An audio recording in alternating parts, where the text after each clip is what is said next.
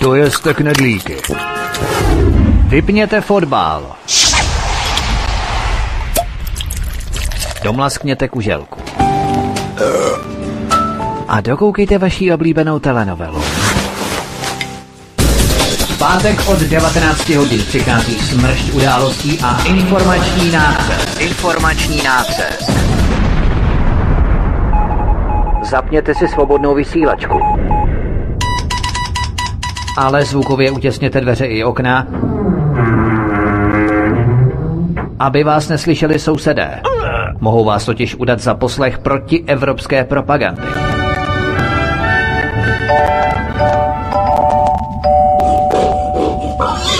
Proto buďte tuctoví, všední a hlavně nevybočujte. Pokud vystrčíte svobodně hlavu, nemilosrdně vás pokosí motorovou pilou. Demokracie? Ano, ale pouze ta po jejich. Proto zapalte svíčky, kupte pár plišáků a semkněte se s námi v boji proti bruselskému terorismu. Šéf-redaktor z pravodejského portálu Ironet.cz pan VK komentuje aktuální události posledního týdne na vnitrostátní i zahraniční politické scéně. Z ganze Čechyše Polk jistajíme simulantní bande. Zákulisní informace, které se nám vždy nemusí líbit. A komu tím prospějete, co? Geopolitické analýzy, rozvědky, zpravodajské služby. Buďme napřed ve vnímání informačního pole řídících mocenských procesů. Mocenský tenzor je neúprostný. Máte zaseknutý kompas na západ? Každý pátek od 19 hodin si k nám přijďte pro nový, protože nám funguje na všechny čtyři směry.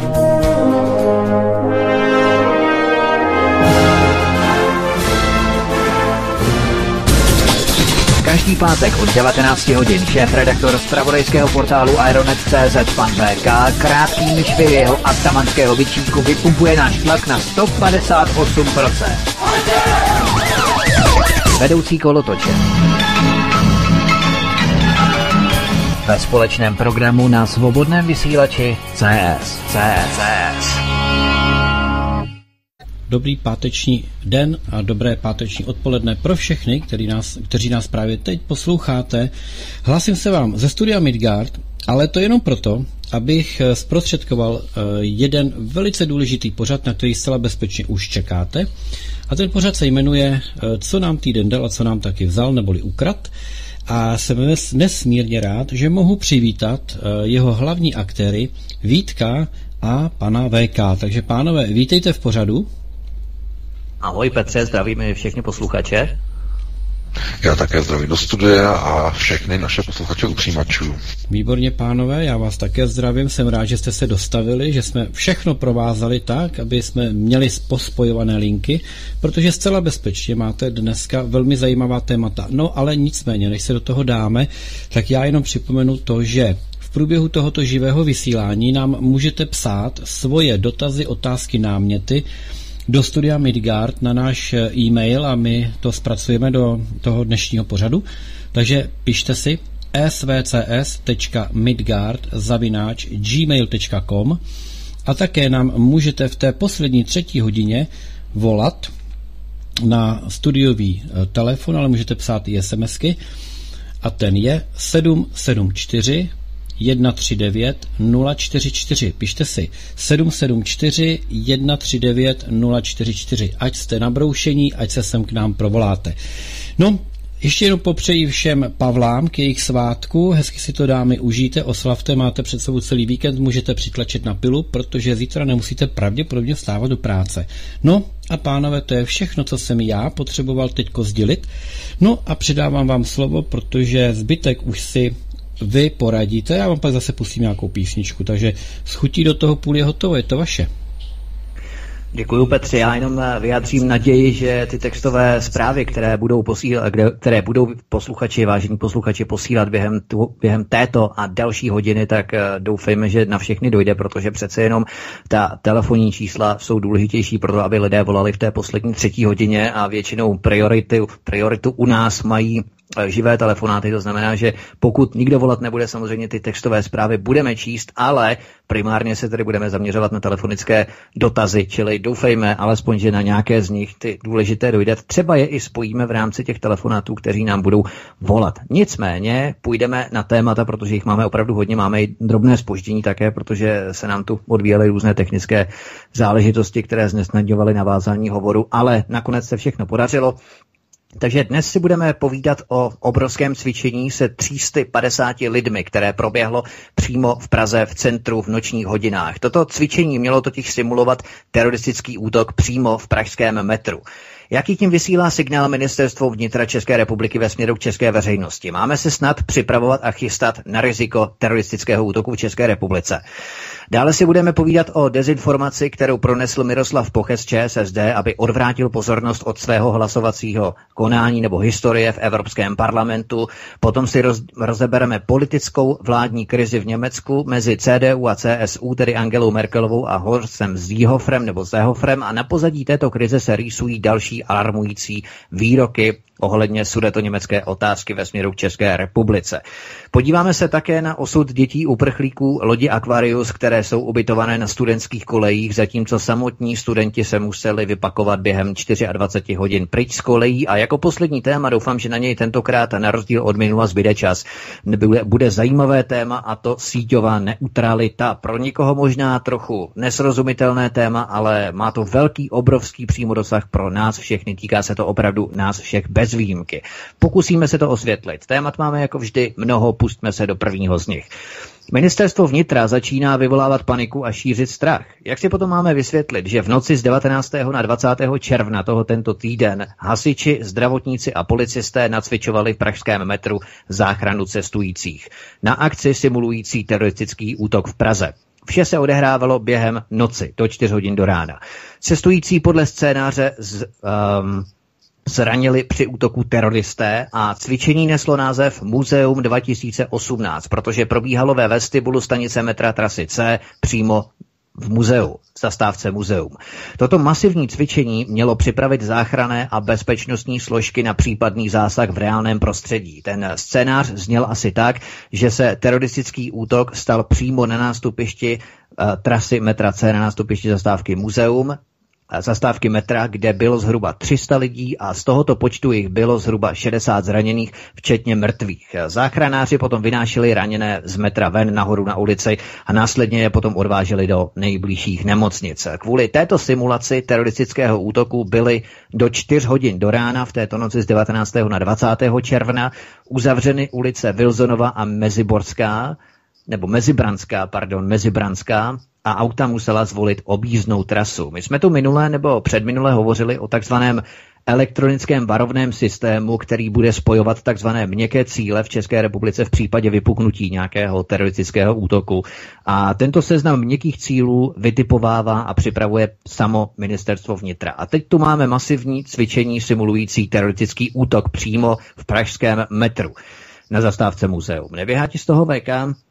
Tak trochu mráz po zádech, kdy se ministerstvo vnitra na férovku prostě připravuje na teroristický útok v souvislosti s migrací místo nějaké eliminace počtu muslimů v České republice, kdy toto riziko stoupá v souvislosti s nárůstem migrace, tak místo toho raději nacvičují simulaci na teroristický útok a když to zasadíme do kontextu s těmi manévry, které se odehrávají nebo které se začaly odehrávat dnes v noci na hranici bavorsko-české hranici.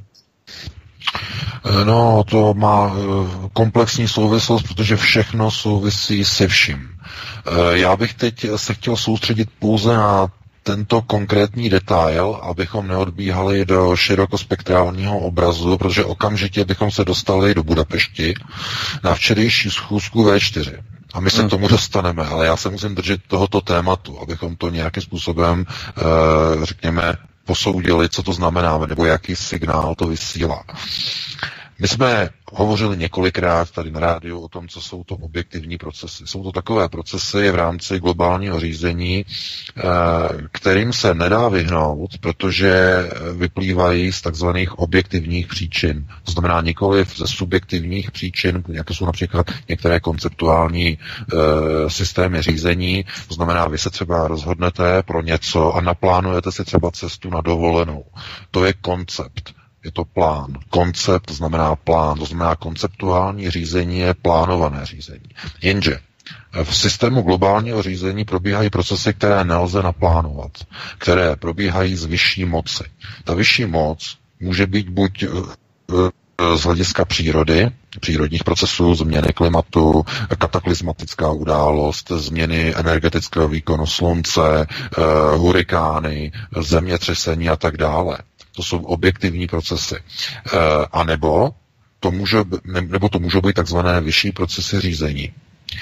A my, teď když mluvíme o migraci, tak to, co jsme viděli, nebo řekněme svědci mohli vidět při cvičení e, okolo stanice muzeum, tak je pouze příprava na jeden z objektivních procesů, který má název islamizace evropského životního prostoru. A tento proces ponese a přinese sebou některé v uvozovkách neblahé projevy, jako je, kromě jiných, jako jsou projevy terorismu. Protože eh, arabské národy a obecně islamizace jakéhokoliv životního prostoru sebou nese eh, projevy příchodu eh, nové kultury nebo úplně jiné kultury, která není kompatibilní s tím, co známe dlouhé stovky a stovky let v prostoru střední, západní a potažmo i východní Evropy. To znamená úplně nové prostředí, úplně jiná kultura, jiné žebříčky hodnot, rodinných hodnot, jiné žebříčky e, sociální Eh, způsobů a náhledů na soužití s ostatními etniky, s ostatními náboženstvími. A politici jsou pouze prodlouženými rukami těchto globálních procesů. Proto i vláda Andreje Babiše, a kdyby tam nebyl Andrej Babiš, tak by to byla vláda někoho jiného, musí připravit společnost na tyto objektivní a e, můžeme říct, nezabranitelné nebo nevyhnutelné, to je lépe řečeno, nevyhnutelné procesy. No a z jakých důvodů a proč e, jsou politici takto nastavení? No, protože už víme, že jednotlivé země nejsou suverénní. Žádná evropská země není suverénní, pouze ty, které se o to snaží, jako je například Maďarsko, e, můžou vykazovat některé projevy e, samostatného řízení, ale ve skutečnosti my moc dobře víme, minimálně tady na alternativě, nebo vím to já, víš to ty Vítku, že ani Maďarsko není samonosnou národně suverénní jednotkou, ale je úzce napojeno na americké systémy řízení, e, takzvané státní moci, na americké neokony. A na to si musíme dát vždycky pozor, protože jsme několikrát opakovali a říkali, že při boji proti některým prvkům řízení se, při, se automaticky přidáváme jako alternativa na stranu e, společného nepřítele. To znamená na stranu, když bojujeme proti americkým neokonům v Evropě, tak se přidáváme na stranu globalistů. A obráceně, když bojujeme proti globalizaci, například proti migraci, protože to je globalizační prvek, tak tím se dostáváme zase automaticky naspátek na stranu amerických neokonů. Proto se všimněte, jak Spojené státy jsou proti migraci pod Donaldem Trumpem, jak, jaké srdcerivné obrazy, mediální obrazy vysílají média, jak Donald Trump a řekněme jeho systém moci odebírá děti na americko-mexické hranici a hned globalistická média to využívají a zobrazují plačící děti, k tomu se ještě možná dostaneme.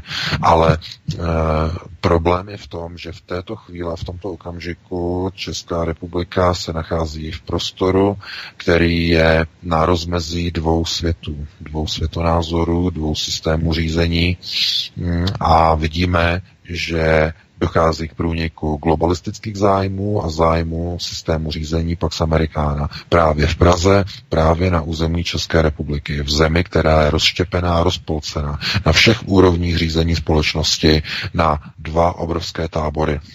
Na tábor globalizace a na tábor pro národních tezí. Něco jiného je účast u voleb a rozhodování u voleb, ale mnoho lidí, když uděláte průzkumy, rozhovory, tak zjistíte, že jejich názory jsou rozumné, jsou pronárodní, nechtějí migraci, eh, nechtějí eh, systémy cizího řízení, ale když přijdou volby, tak dají přednost něčemu jinému. Ekonomické preferenci svých vlastních rodinných zájmů, což je přitom logické, protože vnitřní kruh je ten důležitý. Jenže Globalisté udělali, udělali tu důležitou věc, že napolil, napojili vnitřní kruh na ekonomickou závislost na globalizaci. To je to největší svinstvo, které mohlo vzniknout, ale bohužel nikdo tomu nebránil v 90. letech a později. A toto je důsledek. To znamená, rodiny jsou závislé na benefitech globalizace, na zahraničním zboží, globalizovaném zboží, na globalizovaných bankách, u kterých mají půjčky, hypotéky na své byty a domy. To znamená, lidé by chtěli pro národní teze, ale vědí, že když by se odpojili od globalizace, tak by o tyto věci přišli. A proto se jedná o, glo- o objektivní proces globalizace. Proto lidé, i kdyby přišlo na referendum, tak by se globalisté postarali o to, aby ve všech médiích byly vidět důsledky toho, co se stane, když Evropská unie uh, takzvaně odejde. To znamená, kdyby Česká republika vystoupila z Evropské unie. Globalisté by se ještě dopředu postarali o to, aby lidé viděli, co je čeká, když budou hlasovat pro vystoupení z Evropské unie. A to je moc velký strešák a velký byč. I proto z tohoto důvodu lidé hlasovali uh, v posledních volbách pro hnutí ANO. Ale aby jsme se vrátili k metru a k tomu cvičení, tak Andrej Babiš ví moc dobře, že když přijdou do České republiky migranti, tak určitá část z těchto migrantů, arabských migrantů, muslimských migrantů, bude představovat třeba ne hned, ale dříve či později bezpečnostní riziko pro stát. Dříve či později. A proč dříve či později? Ta první vlna první várka těch migrantů eh, bude opravdu maximálně, maximálně prověřena. Protože politici se nebudou moci dovolit přijmout někoho, kdo bude mít nějaký teroristický původ. To je samozřejmé. To znamená, ty první várky migrantů budou velmi důsledně prověřené. Ovšem, postupně, jak budou tito migranti integrováni a budou chráněni ve společnosti před, řekněme, určitými projevy xenofobie a tak dále, tak v těchto lidech eh, začne vzrůstat pocit vyčlenění, pocit uh, jinakosti, pocit neakceptování ze strany majoritního obyvatelstva, což povede k určitým asociálním projevům e, chování až přerůstajících k psychopatickým projevům. No a tohle to všechno neříkáme jenom tak, jako že by to bylo někde prostě napsané v nějaké teoretické knižce, ale pouze mluvíme o tom, jak to skutečně funguje v jiných zemích, kde mají e, s migrací daleko dlouhodobější spole- e, zkušenosti, jako je Francie, jako je Belgie, jako je Dánsko, Holandsko, Švédsko, Velká Británie, Francie, Španělsko, Itálie samozřejmě. Tam všude mají zkušenosti s migranty a vědí, že první generace je vždycky ta, která je prověřená, to znamená ta, která je pozvána. Druhá generace to už jsou děti, které se narodí v dané zemi a už jsou občany dané země. Tohle je takzvaná vyděděná generace. Druhá generace patří mezi takzvanou, takzvané vyděděnce kvůli tomu, že oni už jsou občany daného státu, ale mají příliš uh, úzké napojení na svoji původní kulturu ze země, odkud pocházejí jejich rodiče.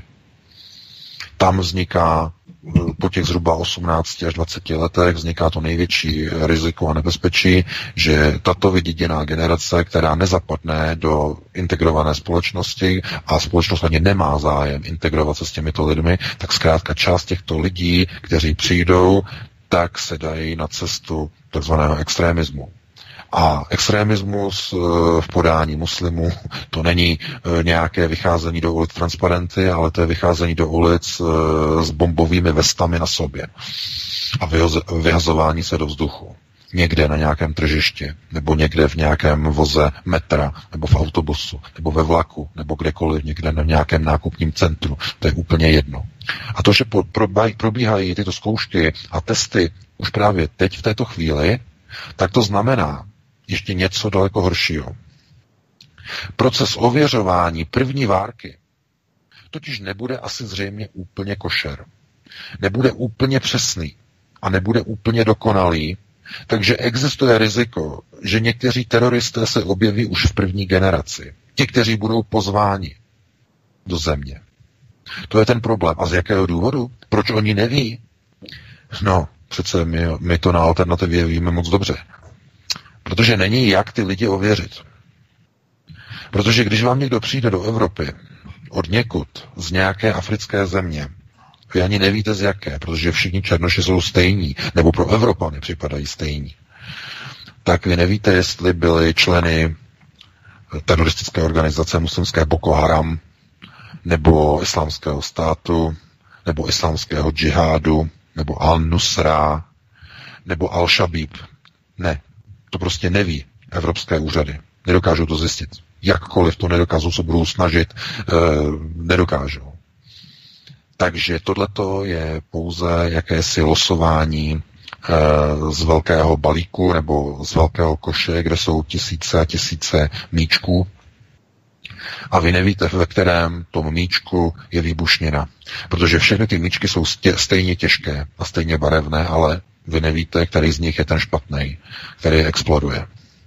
A z tohoto důvodu musí být dopředu přijímána taková cvičební, tréninková opatření, která nacvičí tu neblahou událost, že zkrátka dojde k výběru určitého počtu migrantů, mezi kterými se budou nacházet teroristé. Tohle je naprosto zjevné. A teď, aby jsme ještě dokončili uh, celou tu myšlenku nebo celou tu anabázi onoho dublinského protokolu, která se pomalu chýlí ke svému závěru. Uh, Česká republika se dostane do hlavního kolotoče migračních proudů v příštích měsících v celé Evropě. Trochu nechtěně. Ale proč? Z jakého důvodu? Eh, všechny ostatní země, které jsou okolo České republiky, tak eh, ještě donedávna byly zeměmi, které vítali. Donedávna, ještě před nástupem Sebastiana Kurce, vítalo Rakousko, vítalo Německo, eh, vítala Itálie, tyto země zkrátka na té tradiční tzv. jižní trase, to znamená přes Itálii, přes Rakousko směrem sem do Německa, případně ještě tam nahoru do Švédska, do skandinávských zemí. To byla tzv. jižní trasa. No a k čemu teď dochází? Eh, současný ministr vnitra eh, a mimochodem šéf CSU Horst Seehofer chce eh, od 1. července zavést hraniční kontroly na celém území Německa, znamená na všech hranicích.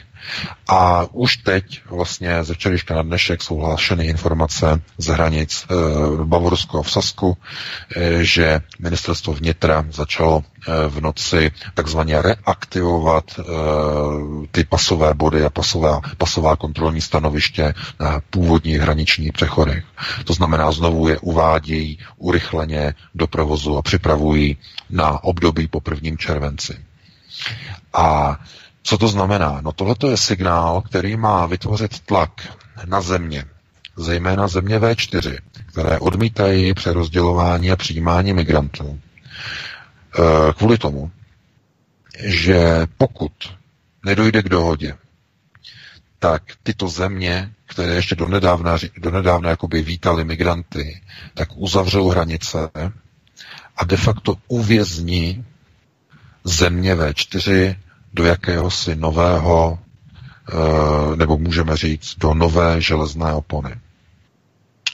Eh, když začne kontrolovat hranice Německo, když začne Rakousko kontrolovat, tak eh, celá západní hranice bude jakoby znova uzavřená. Samozřejmě symbolicky, nebudou tam dráty, ale bude to symbolicky uzavřené. No a Jaký to bude mít dopad, nebo největší dopad, no, ne, jenom si to představte. Uh, největší dopad tohle bude mít samozřejmě na cestování a na export České republiky směrem sem na západ, do Německa. Představte si jenom ty dlouhé fronty kamionů, aut. Já vím, že mnoho lidí už to ani nepamatuje, no, doufám, že teda pamatujou, protože Schengen zase neplatí a nefunguje tak dlouho, aby si nepamatovali, ale určitě znáte ta původní hlášení, jak bylo vždycky každé ráno na českých rádiích hlášení. Folmava 15 hodin, e, e, železná ruda 17 hodin. To byly, to byly informace, jak dlouho se čeká na hraničních přechodech. Jistě si to pamatujete, mimochodem. Tahle hlášení v rádiích. Po otevření Schengenu tahle hlášení zmizela. No a e, Schengen je hlavně důležitý pro průmysl. To znamená, tahle ta výhruška hosta Zéhofra, že začne zavírat hranice a začne kontrolovat každé projíždějící auto, každý nákladák, každého cyklistu, to je pouze forma a způsob vydírání České republiky, Maďarska, Slovenska a Polska. O nic jiného se nejedná. A já si myslím, že politici V4 to vědí opravdu moc dobře, vědí, co by to znamenalo, kdyby znovu byly zavedeny hraniční kontroly, které byly opravdu permanentní nebo dlouhodobé, jakým způsobem by to zdražilo dovoz eh, čekací doby kamionů, jak by to e, zkomplikovalo prodej e, českého zboží a odvoz zboží, e, transporty e, do e, západní Evropy nejenom sem do Německa, ale kamkoliv by se vlastně vyváželo zboží. Takže... Tuším, nemyslíš takhle náhodou, že to poškodí i Bavory, respektive Německo, protože Německo, jestli nás využívá jako levnou lacinou montovnu, tak přece jenom čerpá určité benefity právě z otevřených hranic v souvislosti s Schengenem. Pokud dojde k zavření hranic, tak to poškodí především i Němce, ne? Uh, já ti to řeknu takhle. Co se týče takzvané nebo přeshraničního pracování nebo zaměstnávání přeshraničního, to znamená, že někdo přes den pracuje tady v Německu a potom se vrací třeba na večer domů, to je zanedbatelná část.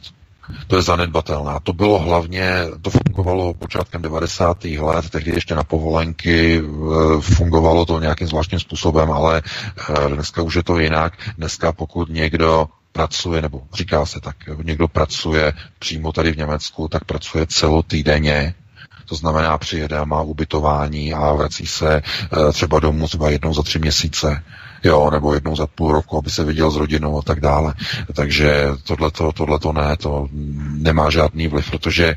No já myslím, uh, že Německo to, finalizuje produkty, které se vyrábějí v České republice, tak to spíš si myslím, ano, že v rámci samozřejmě, ekonomiky samozřejmě, ale co, co, se týče, co, se tý, co se týče, co se týče například převozu nějakého zboží, tak většina tady toho zboží e, je de facto, já nevím, jestli se něco nezměnilo, ale rozhodně ne, třeba v našem případě naší firmy, všechno prostě jede po železnici normálními nákladními vlaky a eh, tyhle, ty, eh, tyhle ty věci zkrátka mají jiný režim, tam je, máš jo, kontrolu, jo. ty vagony jsou normálně zapečetěný, jako jo, takže tam se to nekontroluje takhle vagon od vagónu, tohle to jako ne. Problém je na silnici, silniční přeprava. Tam je ten problém.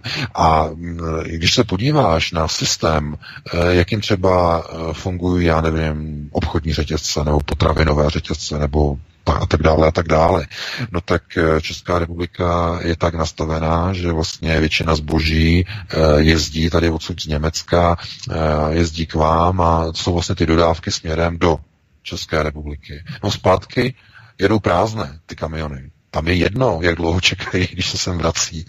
Chápeš, Vítku? No jasně, jo? jasně, jasně. Tohleto, tohleto, tohleto je jiný. A proto Andrej Babiš řekl včera, možná si, si to zaregistroval, že jestliže Německo zavede hraniční kontroly a Rakousko po něm, no takže zavede hraniční kontroly i e, Česká republika, protože Andrej Babiš řekl, že tady i Česká republika by zavedla hraniční kontroly, ale to už je zoufalost, protože e, Česká republika může zavádět, co chce, ale to nemá naprosto žádný, žádný projev, protože to odnesou zase pouze jenom čeští zákazníci. Protože zboží se dostane komplikovaněji na uh, spotřebitelský trh a nemůžou ho nahradit jiným zbožím. Musí si počkat. Takže to zdraží zboží pro české zákazníky. když budou muset ty německé kamiony čekat na vjezdu do České republiky, protože Andrej Babiš bude také kontrolovat hranice. Takže tohle to nemá řešení, dobré řešení pro koncového zákazníka nebo, nebo klienta. To je prostě takhle vymyšlené. Je to nátlakový mechanismus, jakým způsobem přimět eh, takzvaně rebelující země V4, aby se začaly podílet na migraci. A Andrej Babiš ví moc dobře. A my jsme to opakovali několikrát. Neexistuje členství v Evropské unii bez přijímání migrantů na základě rabatského procesu na základě jednotlivých mezinárodních smluv, které budou garantovány úřadem Vysokého komisaře OSN pro uprchlíky. Čemu se Česká republika zavázala ještě v dobách Sobotkovy vlády, že bude tyto dokumenty projednávat, bude respektovat. Není cesty pryč, není úniku, protože co řekl Andrej Babiš? Ohledně koaličního vyjednávání, teď odbíháme, ale co řekl ohledně koaličního vyjednávání s ČSSD? Jednou z priorit je přijetí obecného referenda. To je jeden z bodů SPD. Ale co řekl Andrej Babiš? E, obecné referendum se nebude moci použít na rozhodování o mezinárodních smlouvách. To znamená žádné vystoupení z Evropské unie, žádné referendum o vystoupení z EU a žádné referendum o vystoupení z NATO, ale mimochodem ani žádné referendum o odstoupení smlouvy České republiky o takzvané sociální a migrační chartě kterou podepsala Česká republika, nevím, jestli to bylo za Sobotkovy vlády nebo ještě za vlády no. Nečase, teď, teď si nejsem Podepsal jistý. Sobotka ve Stockholmu těsně předtím, než odešli. No, no. Ano, přesně tak. Takže, ano, přesně tak. Takže tahle ta smlouva je podepsaná a je platná a nebude moci být zrušena, protože Babiš jasně řekl, že obecné referendum se nebude smět týkat uh, mezinárodních smluv. A tím je to zabetonované. A tím je to hotové. A tím nikdo s tím nehne. A Andrej Babiš to musí vědět, že neexistuje setrvání v Evropské unii a členství v EU bez přijímání migrantů. To, o co se teď hraje, je pouze mediální profil migrantů v médiích. To znamená, že jestliže zobrazujete migranty na lodičkách, jak připlouvají do Itálie, jak eh, je Itálie nechce přijmout. Když vidíte migranty v ulicích, když vidíte mediální obraz a máte zprávu XYZ od agentury, která řekne a migrant zabil mladou Němku, znásilnil ji, podřezal ji a teď je před soudem. A jiný migrant znásilnil nezletilého chlapce v bazénu ve Vídni a teď je před soudem.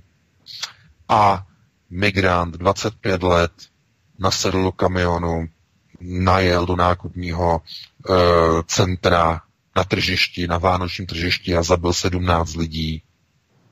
Tak tohle to je všechno mediální obraz, který dělá obrovské problémy jakýmkoliv pokusům o migraci a akceptaci migrace ze strany většinové veřejnosti v Evropě. Proto došlo k tomu, že odpor, který nyní vzniká okolo V4, ale především okolo Sebastiana Kurce, rakouského premiéra, lidovce mimochodem, ta, protože to je zase jiná věc. Hmm. Kdyby nebylo Kurce, tak V4 se může stavět na hlavu, ale nic vůbec nezmůže. Tohle to je hmm. práce trochu jiných procesů. A Kurz právě teď prosazuje nový plán spolu s italskou vládou, s novou italskou vládou e, a ministrem vnitra italským Matem Salvinem, e, kteří teď navrhují, aby Dublin 4 šel ze stolu dolů, respektive aby se honem narychlo během několika dnů přepracoval do takové podoby, že migranti budou procesováni, procesingu budou zpracováni ještě na africkém pobřeží, respektive v afrických písečných dunách, je v takzvaných detašovaných centrech Evropské unie. No a ty informace, které my jsme dostali do redakce, tak ukazují, že nejde o to, kde budou ti migranti procesováni, kde budou zpracováni, kde budou posuzováni, jestli mají nárok na azyl, nebo nemají. Kde, nejde o to, jestli to bude eh, někde v Evropě, anebo to bude někde jinde, ale jde o to, aby se ten mediální obraz migrantů, ten negativní, nedostával do sdělovacích prostředků. Protože co oči nevidí, srdce nebolí. A cenzuru zatím ještě pořád, i když oni by rádi, nelze úplně tak snadno zavést. Zatím. K tomu se dostaneme. V rámci, v rámci, v rámci diskuze o síťové neutralitě, ale k tomu se dostaneme. Mm-hmm. Ale zatím nemůžou. To znamená, že jediným řešením je odsunout procesy rozdělování migrantů mimo evropský prostor do nepřístupných míst. Tím zdůrazňuji médiím nepřístupných míst. To jsou pouště, to jsou savany, jsou to prostory, kam se nedá dostat, které nejsou dokonce ani na Google mapách. Protože Google nezakresluje mapy někde nějaká, nějaká eh, takzvané pohyblivé cesty v saharském píš, písku, které se pohybují každý rok podle toho, jak cestují Duny. Protože Duny na Sahaře cestují a mění se tím i spojovací cesty mezi jednotlivými libijskými, tuniskými, eh, alžírskými městy, mimochodem. To je pro Evropana něco neuvěřitelného. Vy třeba jedete v Dubnu do Alžírska a jedete prostě po nějaké cestě a jedete tam potom za pět měsíců později a jedete úplně jinou trasou, protože ta cesta zmizela, přemístila se. To je kvůli písečným dunám, které cestují eh, z důvodu účinku větru, přenášejí se, cestují duny. No, takže tam umístí do těchto prostor umístí tzv. zpracovatelská detašovaná centra Frontexu uprostřed pouště. Nikde nic. Budou tam jenom elektrocentrály na naftu, nikde nic, žádné přístupové cesty odjinut maximálně vrtulníkem nebo půl dne cesty nějakou nákladní Toyotou a tam budou zpracovávat uprchlíky. Tam je budou legalizovat, a tam budou prověřovat přes satelitní spojení, jestli náhodou někteří z nich třeba nejsou v databázi, eh, protože byli členy ISILu a jsou známí podle nějakých eh, fotografií, které se podařilo tajným službám Mossadu někde eh, sebrat, vyfotit, to znamená, budou je kontrolovat oproti nějaké velmi úzké a malé databázi těch nejhledanějších předáků ISILu. Ale jinak všichni ostatní, ti, kteří nebudou tak známí, tak stačí jim říct, když oni budou citovat některý z paragrafů takzvaného rabatského procesu, to znamená z důvodů, eh, které jsou nově podle i Marrakešské eh, dohody vnímány jako oprávněné důvody pro azyl v rámci migrace. Ten důvod, nebo těch důvodů je několik. Jedním z nich je útěk před válkou, Druhým z nich je útěk kvůli ekonomické a neutěšené situaci a třetí je z klimatických důvodů. To znamená nedostatek vody, příliš velké sucho, ne, ne, nemožnost e, provozovat zemědělství e, a tak dále a tak dále. To znamená, oni, když uvedou jeden z těchto tří důvodů, tak se podle Marrakeše na ně vztahuje asilové právo. Právo žádat o azyl. A co se stane, když se přesunou tyto procesy z Evropy, z evropských úřadů, když se přesunou do severní Afriky? E, najednou z ničeho nic, z minuty na minutu, zmizí veškeré obrazové a mediální spravodajství ze všech mediálních outletů v Evropě. Doslova z minuty na minutu. Nebudou žádné informace. Kdo z nás, nebo kdo i z velkých agentur, tiskových agentur, bude vědět, co se děje někde uprostřed pouště, někde v Africe, kde je nějaké procesní centrum Frontexu. Kolik tam přichází denně těch migrantů? Deset? Deset tisíc? Sto tisíc? Kolik?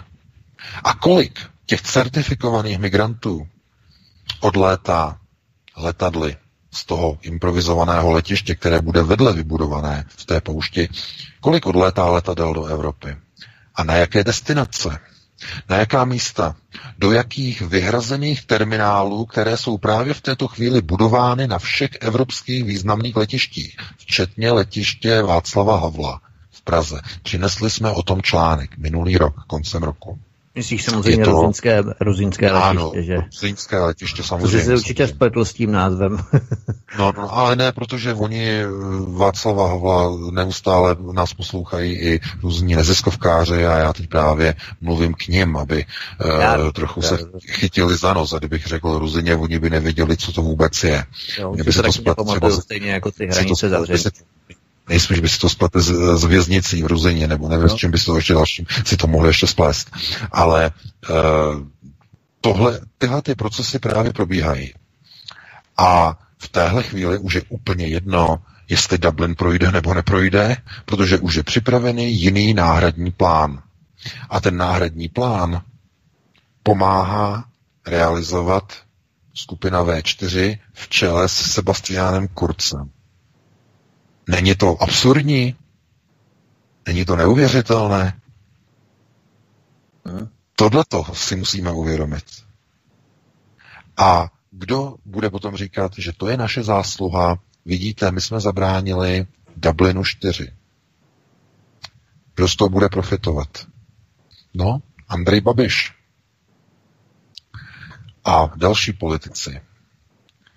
No ale výsledek bude takový, že tím bude spečetěna migrace do Evropy a do České republiky.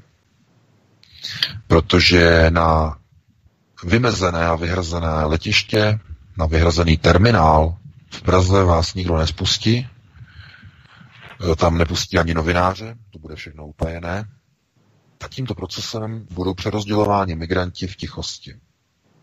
V tichosti a budou, pozor, budou plně legalizovaní už z té Afriky, už z těch detašovaných pracovišť přiletí do Evropy speciálními čartrovými lety jako turisté. Ovšem bez zpáteční letenek.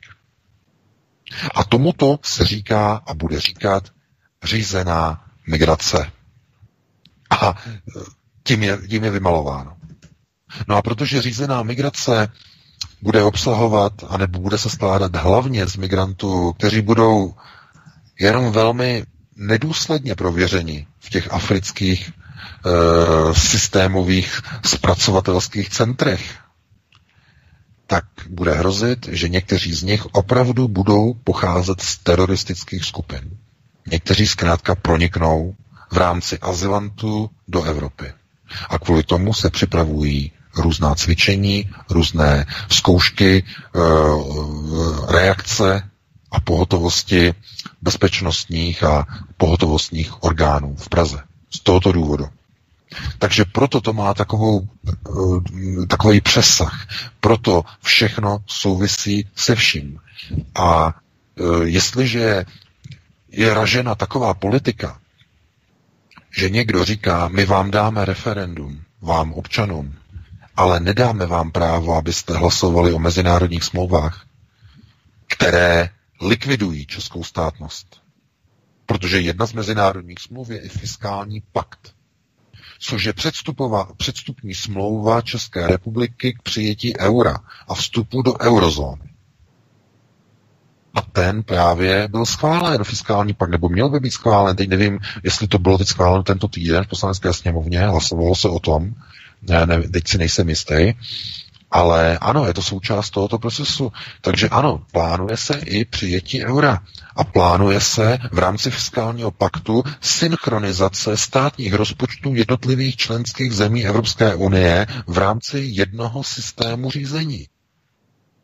A někdo si, si řekne, a co to znamená, e, to jako budeme odvádět všechny, všichni jako stejné daně v Evropě? No ano, jednoho dne ano, podle fiskálního paktu. A znamená to, že budeme mít uh, i stejné důchody, někdo řekne. No a na to odpovím, no to v žádném případě. Fiskální pakt se týká pouze daňových struktur, nikoli příjmových. Pěkně vykutálené. Takže toto už je, já tomu říkám, evropský koncentrák. Ale problém je v tom, že lidé ho chtějí. Lidé chtějí ty hypotéky. Lidé chtějí ty půjčky. Lidé chtějí více Evropy a lidé chtějí více migrace.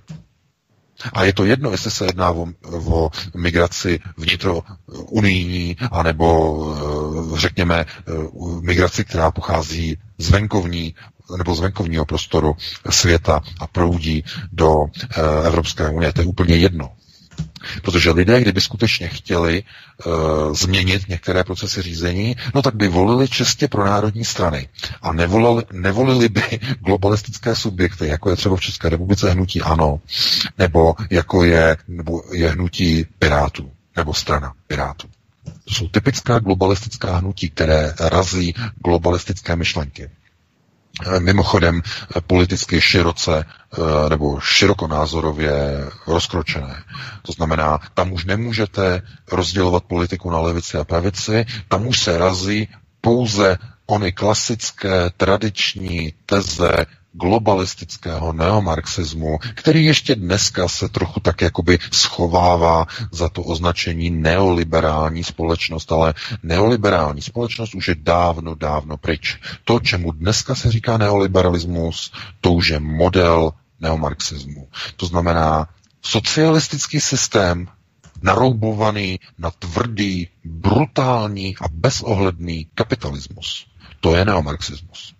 No a hlavním pilotním projektem neomarxismu je Čína, kde je tvrdý kapitalismus naroubovaný na socialistický, respektive komunistický systém řízení moci. No, takže e, já bych e, celou tu kauzu e, cvičení v metru teď uzavřel, dal bych ti slovo Vítku a pustili bychom se, no už to asi nestihneme, nevím, máme 55 na další téma.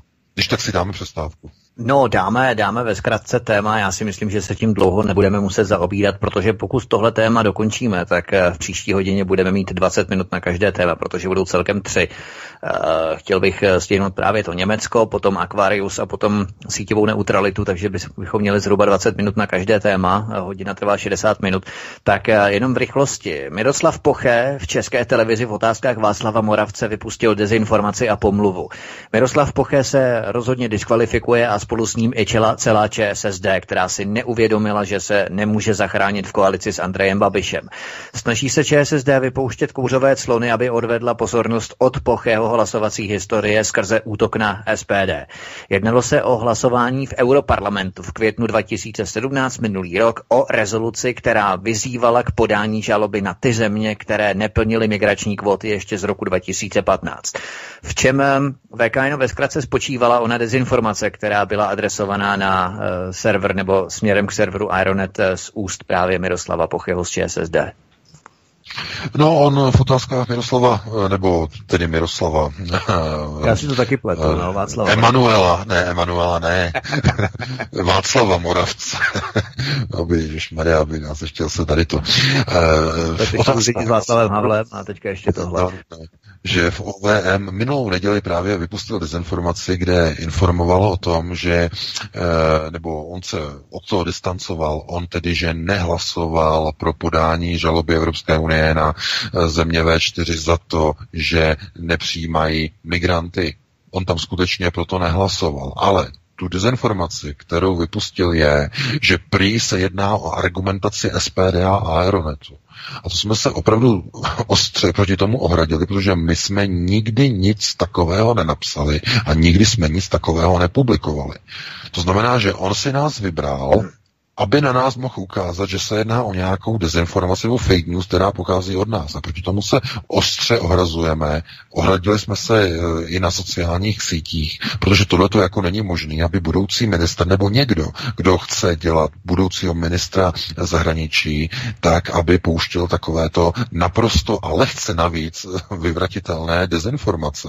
Každý si to může ověřit, my jsme nic takového e, o Miroslavu Pochem nikdy neuveřejnili a nepublikovali. Ale mm, tohle to je pouze jakási kouřová clona, to znamená snaha Miroslava Pocheho odvést, eh, řekněme, svoji vlastní politickou historii a nemožnost anebo neoblibu u prezidenta republiky přenést jako vinu na nějaký třetí subjekt. To znamená, že pan prezident Zeman nechce pana Pocheho jmenovat do funkce ministra zahraničí kvůli tomu, že o něm něco napsal Aeronet, anebo že něco o něm řeklo SPD nebo vedení SPD, to je jedno. Takže přenést zodpovědnost na nějakou třetí stranu. A přitom, a co je zajímavé, eh, tu informaci, která nebyla správná a nebyla přesná, eh, vypustil mimochodem eh, Vojtěch Filip z KSČM který tuto informaci uveřejnil o několik hodin dříve na České televizi v neděli. Ale ne, Miroslav Poche obvinil SPD a Ronet. Nestěžoval si na Vojtěcha Filipa. Jo, že on to o mě řekl, že já jsem hlasoval. Kdyby si stěžoval na Vojtěcha Filipa, no tak by to bylo normální. By se ohradil, řekl by, to není pravda, já jsem nehlasoval. Ale ne, proti němu se neohradil, on se ohradil proti Aeronetu a proti SPD. To je účelovka.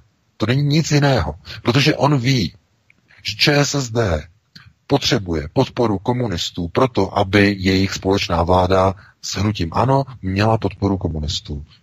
Takže i kvůli tomu on se neobrátil na Vojtěcha Filipa, aby se ohradil, ani na to neměl odvahu, protože by třeba někoho popudil uvnitř to by to nepohřbil. Takže, takže koho si našel? Našel si obětního beránka, našel si Aeronet, protože mu to někdo poradil, možná v české televizi, otázky Václava Moravce, možná mu řekl, hele, hoď to na Aeronet, to, to má nálepku a je to vyřízeno, je to hotovo, ale to není hotovo. Zkrátka, on vypustil dezinformaci a e, tím se zdiskreditoval. Naprosto jednoznačně. Protože kdybychom něco o něm takového napsali, no tak by to mohl ukázat a říct a podívejte se a tam je ten článek. Ne, my jsme nic takového nenapsali. Protože nevypouštíme žádné dezinformace, pokud, je to, pokud to není neověřený, tak to nevypouštíme. A, a těch dezinformací chodí spousta, mimochodem což je tak trochu smutné, protože mnoho lidí třeba nevím, pošle nějakou informaci, vidí třeba nějaké e, typicky e, muslimy, jo, muslimy v České republice v nákupních centrech, že, nebo na nádražích, na autobusech, dostáváme pravidelně do redakce, že vidíte, a tady byli migranti, a tady jsou migranti, a pošlou nám třeba i fotografie. Jenže na všech těch obrázcích nebo těch lokacích, kde nám pošlou a fotili jsme to tamhle a tamhle a tamhle.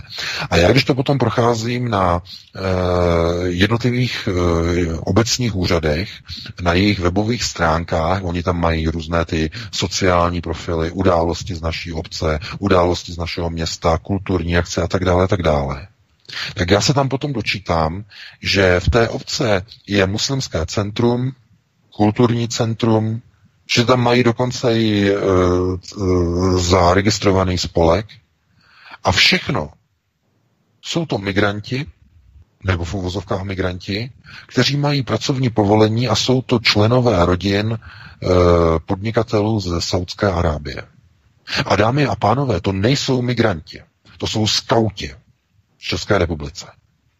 A já, já pořád pozoruji, že stále mnoho lidí v České republice si zaměňuje migranty s vahábistickými skauty e, z, z Saudské Arabie, z Riádu, kteří přijeli šířit do České republiky vahábismus. Týká se to především měst v severních Čechách, týká se to Teplic, Týká, týká se to i Ústí nad Labem, týká se to Jižní Moravy, Brna, e, dalších, dalších eh, menších měst e, okolo, e, okolo Mělníka. A někdo potom říká, že, jako, že jsou to migranti, ale to nejsou migranti. To jsou arabové s pracovními vízy, které dostali od ministerstva vnitra anebo od ministerstva zahraničí. Podnikatelská víza.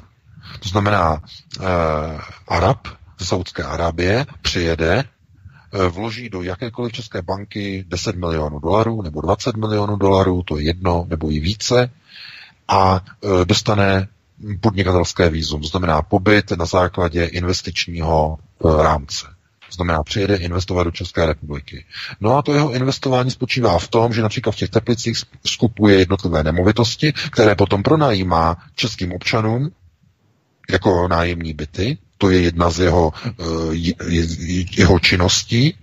No a pak je tam druhá činnost, a to je zřizování e, modliteben, ukotvování vahabistických muslimských obcích v Teplicích.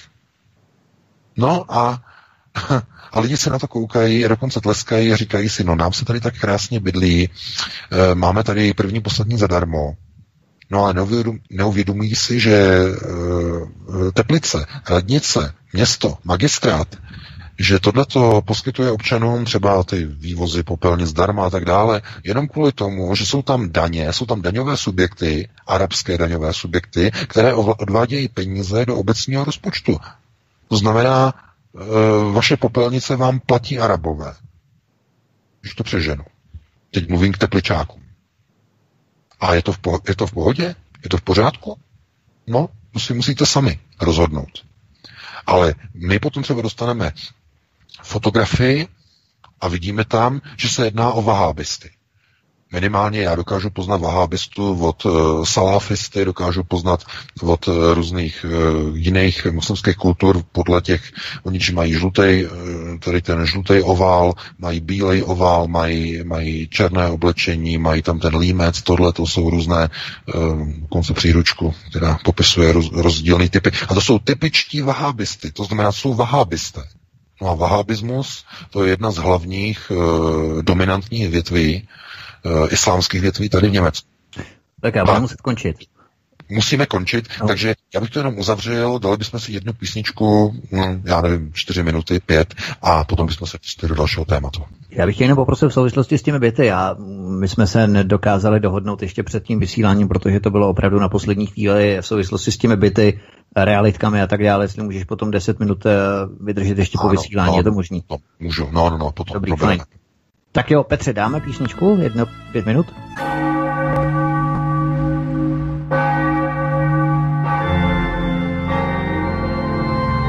Také byste rádi věděli, kam půjdou naši politici na zasloužený odpočinek ke spánku na věčnost. Přímo z poslanecké sněmovny, přes americkou ambasádu, až do strašnického krematoria. Pojď stoupat jak dým, až tam, kam jen ptáci mohou. Chceme je nechat sedět v poslanecké sněmovně tak dlouho, abychom jim házeli my lístky do urny, než v té urně skončí oni sami. Co takhle jim dát do rukou hrstku tabletek Viagry? Aby ukázali, že se dokáží za náš národ konečně postavit? Oh yeah! Pátek od 19 hodin přichází smršť událostí a informační nácest. Informační nácest. Každý pátek od 19 hodin šéf redaktor z pravodejského portálu Ironet.cz pan VK krátkými švy jeho atamanského vyčínku vypumpuje náš tlak na 158%. Vedoucí kolotoče. Ve společném programu na svobodném vysílači CS. CS. CS. Tak panové, můžete zase pokračovat, je to vaše. Ano, díky Petře, já jenom otestuju spojení VK, slyšíme se, seš tu? Tak, VK to ještě není. Ale já bych možná přece jenom začal, protože ty informace, které odprezentuju v podstatě VK zná, takže abychom se nezdržovali, protože přece jenom z těch 20 minut na první téma je nám dost ukrojeno eh, pomyslný, eh, pomyslný salám, eh, krájená metoda, takže půjdeme na první téma této hodiny a to je, eh, to je téma v Německu. Eh, pojďme se podívat do Německa, kde se kvůli Dublinu 4 rozpadá koalice CDU a CSU. Horst Seehofer chce z Bavorska od 1. července 2018, což tu VK v první hodině ostatně zmínil, vracet migranty, protože Dublin fakticky vůbec neřeší takzvaný sekundární pohyb nebo sekundární migraci. To je jakýsi newspeak, který se začal používat, eh, což je přechod krimigrantů z neatraktivní země Evropské unie, ve které dostali azyl, do jiné, pro ně atraktivnější země Evropské unie se, stěž, se štědřejšími sociálními dávkami. Ovšem celá kauza má ještě v podstatě pro nás velmi alarmující rozměr, protože Horst Seehofer se každoročně účastní na sjezdu sudeto německého Landsmannschaftu hned vedle Bernda Posselta. A aby si Angela Merkelová Horsta Zehofra udobřila a zažehnala vládní krizi, která hrozí vypuknout, nastolila otázku poválečného revizionismu. Prohlásila totiž naprosto nehoráznou lež ohledně takzvaného vyhnání Němců po druhé světové válce. A, to, a co na to čeští politici kolektivně mlčí jako zařezaní, jako zarytí. To samozřejmě svědčí o tom, o obrovském rozsahu německé lobby, která prostupuje českým politickým, neziskovým, kulturním a samozřejmě ekonomickým životem nebo sférou. Ale Vraťme se do Německa, jak celá kauza vznikla, VK, a co prohlásila Angela Merkelová, co tak nazvedlo část alternativy, ne tedy celou, protože nějaká eh, Fiat alternativa se postavila za tyto výroky, ale o tom si povíme později, k tomu se určitě dostaneš, ale o čem ten výrok konkrétně byl? No tak výrok Angely Merkelové byl nebo k příležitosti dne památky uprchlíků nebo připomenutí se vlastně uprchlické vlny. A ona řekla v Berlíně, že přestože v reflexi na nacistické řízení a na nacistickou diktaturu, eh, která vlastně probíhala na území eh, tehdejšího protektorátu Čechy a Morava, tak i s přihlédnutím k tomu, že se jednalo o nacistický režim, tak nelze se dívat na poválečné vyhnání Němců z prostoru Československa jako na něco, pro co lze najít ospravedlnění. Tím vyvolala obrovskou vlnu emocí a výbuchů nesouhlasu mezi českými politiky, ale mimochodem i některé naprosto skandální souhlasné výroky a souhlasná stanoviska, například od šéf-redaktora Fiat alternativního serveru Forum 24 od pana Šafra, který na svém Twitteru uvedl, že vyhnání Němců bylo hanebné v roce 45 a kdyby k němu nedošlo, tak by se nedostali komunisti v roce 48 k moci. no, krásně to napsal v uvozovkách. A proto já říkám, že čes, jako český národ je právě velmi hluboce prostoupený a, různými lidmi, kteří, e, kterým by nevadilo, tak to řeknu, kterým by nevadilo žít v dalším protektorátu. Stejně jako někomu nevadilo a mnoha lidem nevadilo žít eh, pod eh, kuratelou Sovětského svazu, to znamená po roce 48, stejně jako někomu nevadilo žít 300 let pod kuratelou Habsburku a tak dále. Mohli bychom jít ještě dále možná do historie. Takže to je to, je to, je to zakomponované geneticky na genetické úrovni přímo v národu. Mimochodem, minulý rok myslím, že to byl minulý rok, eh, vyšel zajímavý článek na novinkách CZ, eh, kde mimochodem tedy musíme to brát trošku jako s rezervou, ale výzkum Masarykovy univerzity, opravdu jako velmi opatrně, ale Možná Konrad Adenauer Stiftung, jestli to nesponzoroval, ne? No, no, no, no, ale tam právě oni, oni vyskoumali, samozřejmě záleží na velikosti vzorku, to je třeba taky zdůraznit, mají tam 2000 lidí v tom genetickém vzorku toho, toho výzkumu. Tak Masarykova univerzita právě zjistila, že v České republice jenom vlastně třetina obyvatel má skutečně slovanský genom. To je jenom, jenom jedna třetina, nějakých 33-35%. A to je všechno. No a nás to ale vůbec ani nemusí překvapovat, protože když se podíváme historicky, nebo do historie českých a moravských a sleských zemí, no tak vidíme nekonečné a nekonečné zástupy různých válečných vřav a různých přesunů armádních front tam a zpátky, tam a zpátky. A nebyla to jenom druhá světová válka, nebyla to první světová válka, ale bylo to mnohem dále do historie. Byly to napoleonské války, byla to třicetiletá válka, uh-huh. byly to války, které probíhaly ještě dříve, byly to eh, kališníci, samozřejmě byly husické války, takže a tam bylo mnoho cizinců, bojovalo v husických válkách mimochodem. To byla první interbrigáda. To je možná šok pro mnoho vlastenců, kteří se dívají na eh, husické jízdy a eh, na systémy velení, ale pro Boha. Však víme, že eh, husité to byla první interbrigáda, první nadnárodní brigáda vůbec na území novodobých dějin Evropy, nebo řekněme evropského prostoru.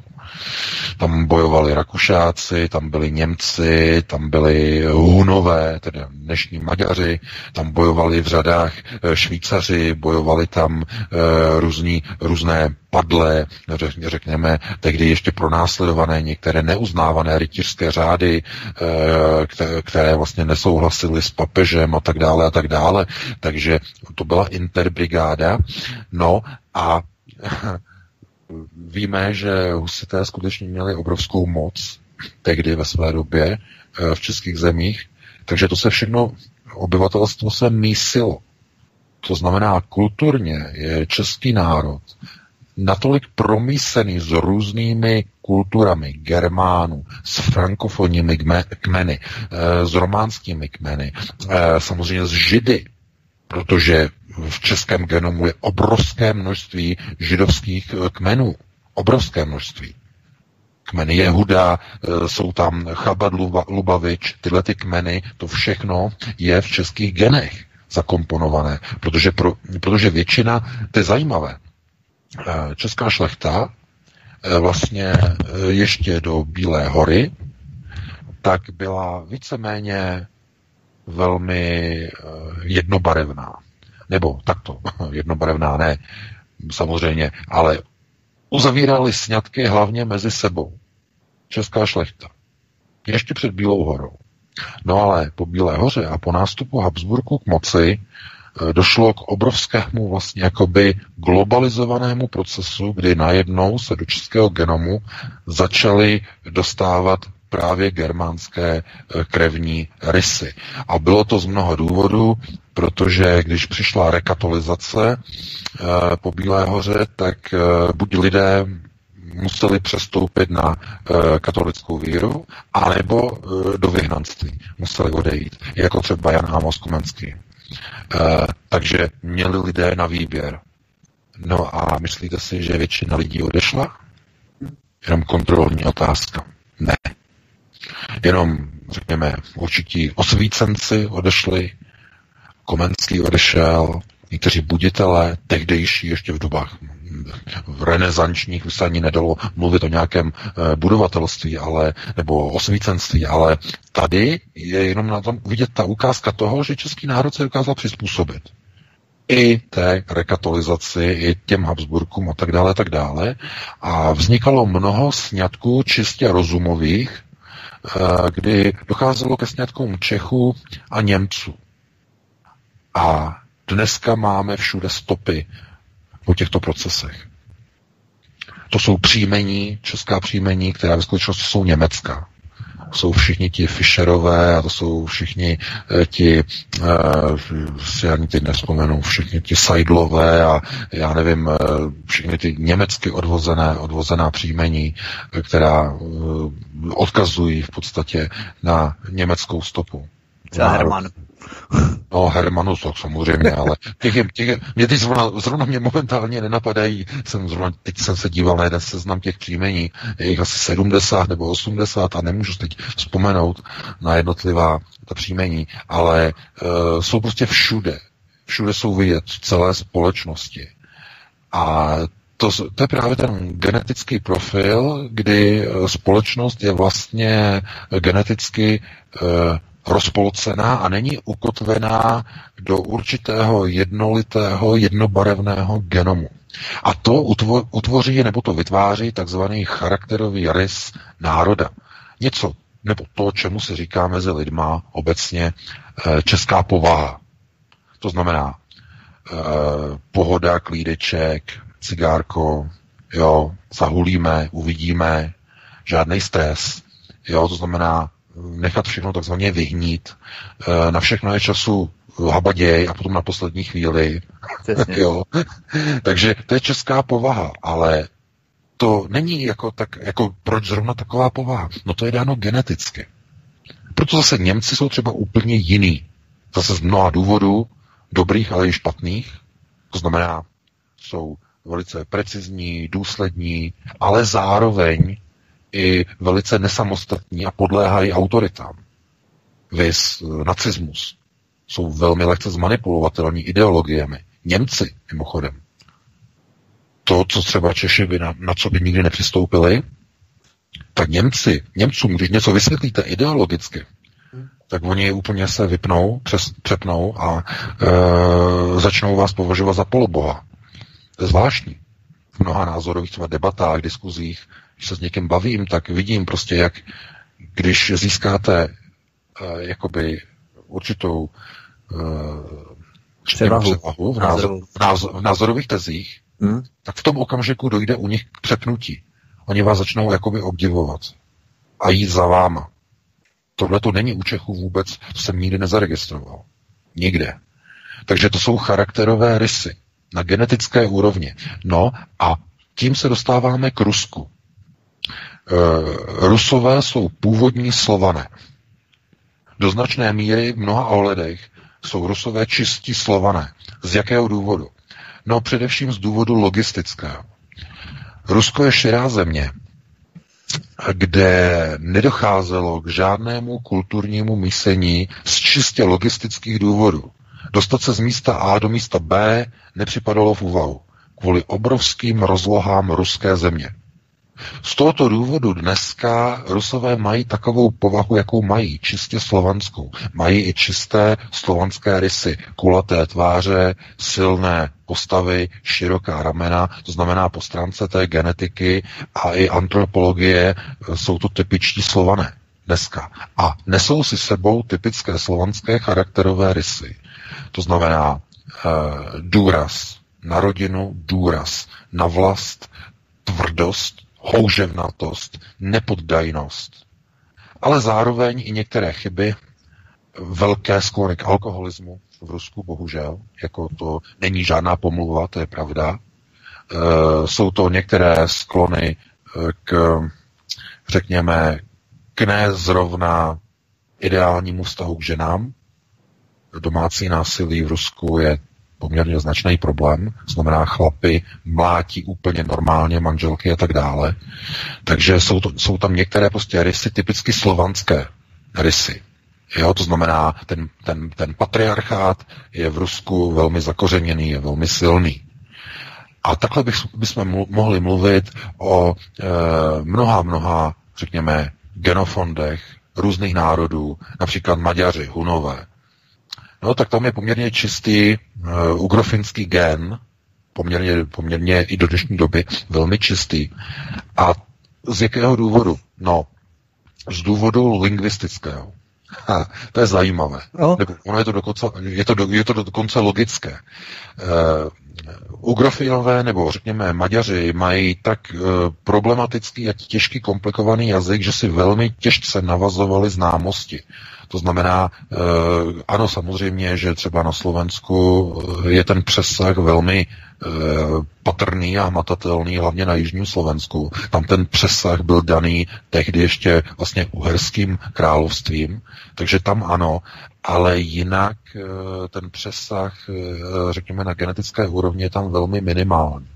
A proto vidíme, že i Maďaři dneska si uchovali určité genové struktury a chovají se v Evropě úplně jinak než zbytek Evropy.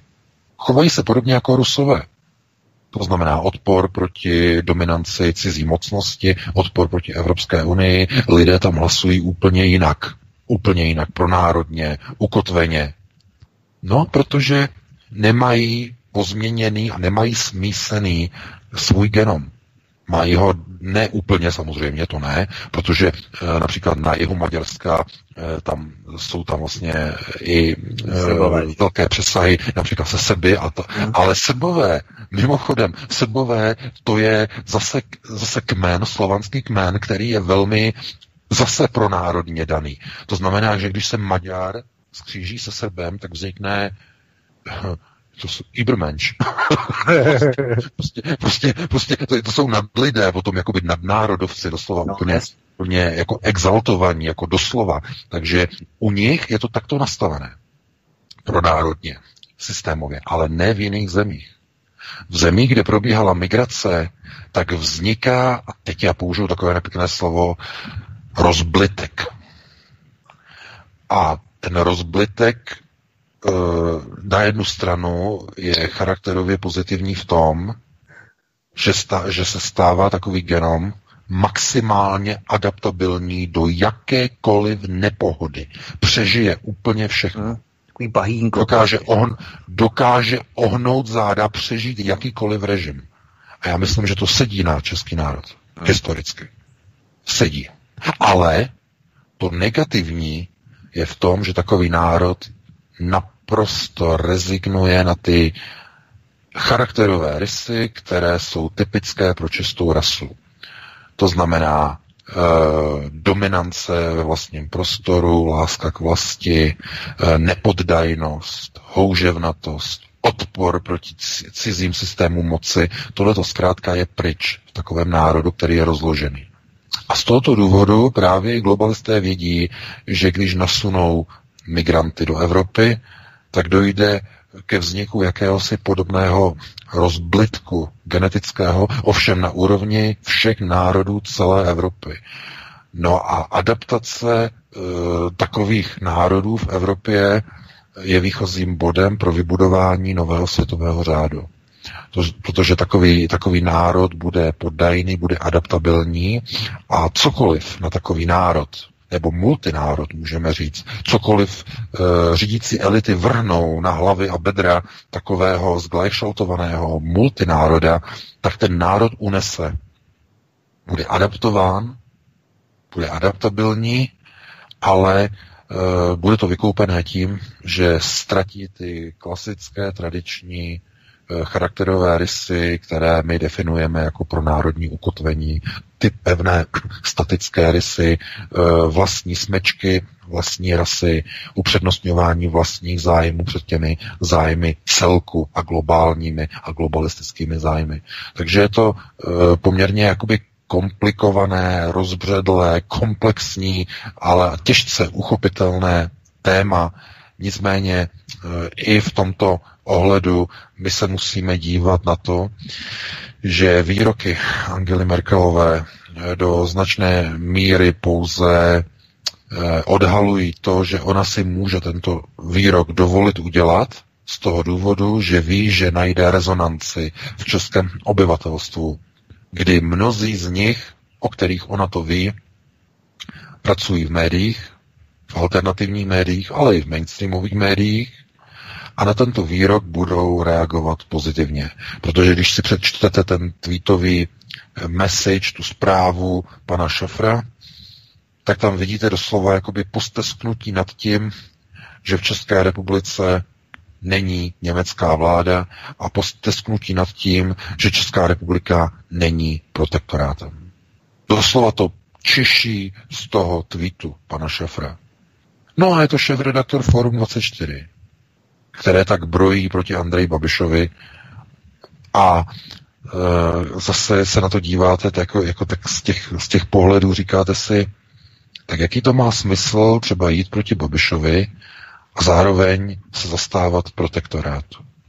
A, a, a litovat nad tím, že proběhly procesy po roce 48, které do značné míry vedly k ukotvení, i když velmi zvláštnímu a bizarnímu ukotvení pro národních tezí, ale na úkor třeba zase občanských svobod, eh, tak z jakého, jaký to má potom smysl se dívat na Německo jako na jakýsi vyšší imperativ toho, co je správné. To znamená, eh, jako by se zapomnělo na to, co prováděli Němci eh, v roce 38 po Mnichovu a tak dále a jakoby hledat na to omluvy. Proto se nedají najít omluvy ani na politické úrovni, ani na té kulturní, ani na té lidské se nedají najít proto omluvy. Zkrátka to je historie, e, za tou historii by se měla udělat nějaká čára, ale nemělo by se na tu historii zapomínat. Protože je něco jiného udělat tlustou čáru a něco jiného je zapomenout, protože zapomenout se nesmí. A já vám říkám, že mnoho lidí by si přálo zapomenout. Mm-hmm. Aby mládež už se nemusela říkat pravda o historii. Aby se mohla trošku pootočit, lehce pokroutit. Aby se řeklo, němečtí vojáci trpěli u Stalingradu, trpěli jako ruští vojáci. Hmm. Posunutí overtonovského okna. Přesně. A kdo byl zlý? No to byl ten Hitler. Ale to nebyli ti němečtí vojáci, oni tam museli na tu frontu. A co ti SSáci? No, to byly, to byly taky oběti, taky. A někdo řekne, no a kdo potom teda nebyl obětí? No a tak řeknou, tak třeba to bylo, to bylo třeba vedení, eh, nebo řekněme vedení NSDAP, to byli ti zlí. To znamená, pojmenuje se třeba, nevím, Hitler, pojmenuje se Himmler, Heydrich se pojmenuje Goebbels, eh, možná i kulturní referent a architekt pan Šper, i ten třeba někomu vadí, tak se řekne taky ten. No a, a kdo další? No moc další už tam nenajde. Možná by tam našli Geringa, který byl neoblíbený, nebo vykreslovaný se psí hlavou, a přitom to byl povaleč a e, floutek a opilec a, a e, rozežraný, jak, jak, jak já nevím co, tak všichni víte tu historii o Geringovi, jak se víc e, věnoval e, různým záležitostem na různých e, párty a v různých klubech, než aby se věnoval e, Luftwaffe. Ale vykreslování obrazu e, Německa ve druhé stové válce je pomalu, ale polehoučku, ale jistě překreslováno do pozice oběti. Z útočníka se stává oběť. A ten proces vidíte i v českých médiích, jak se neustále píše o tom, že v té obci tam a tam v roce 45 zastřelili desítky Němců, kteří byli odsunuti a revoluční gardy je tam postříleli a ti zlí Češi a ti chudáci Němci. Ano, ano, ano.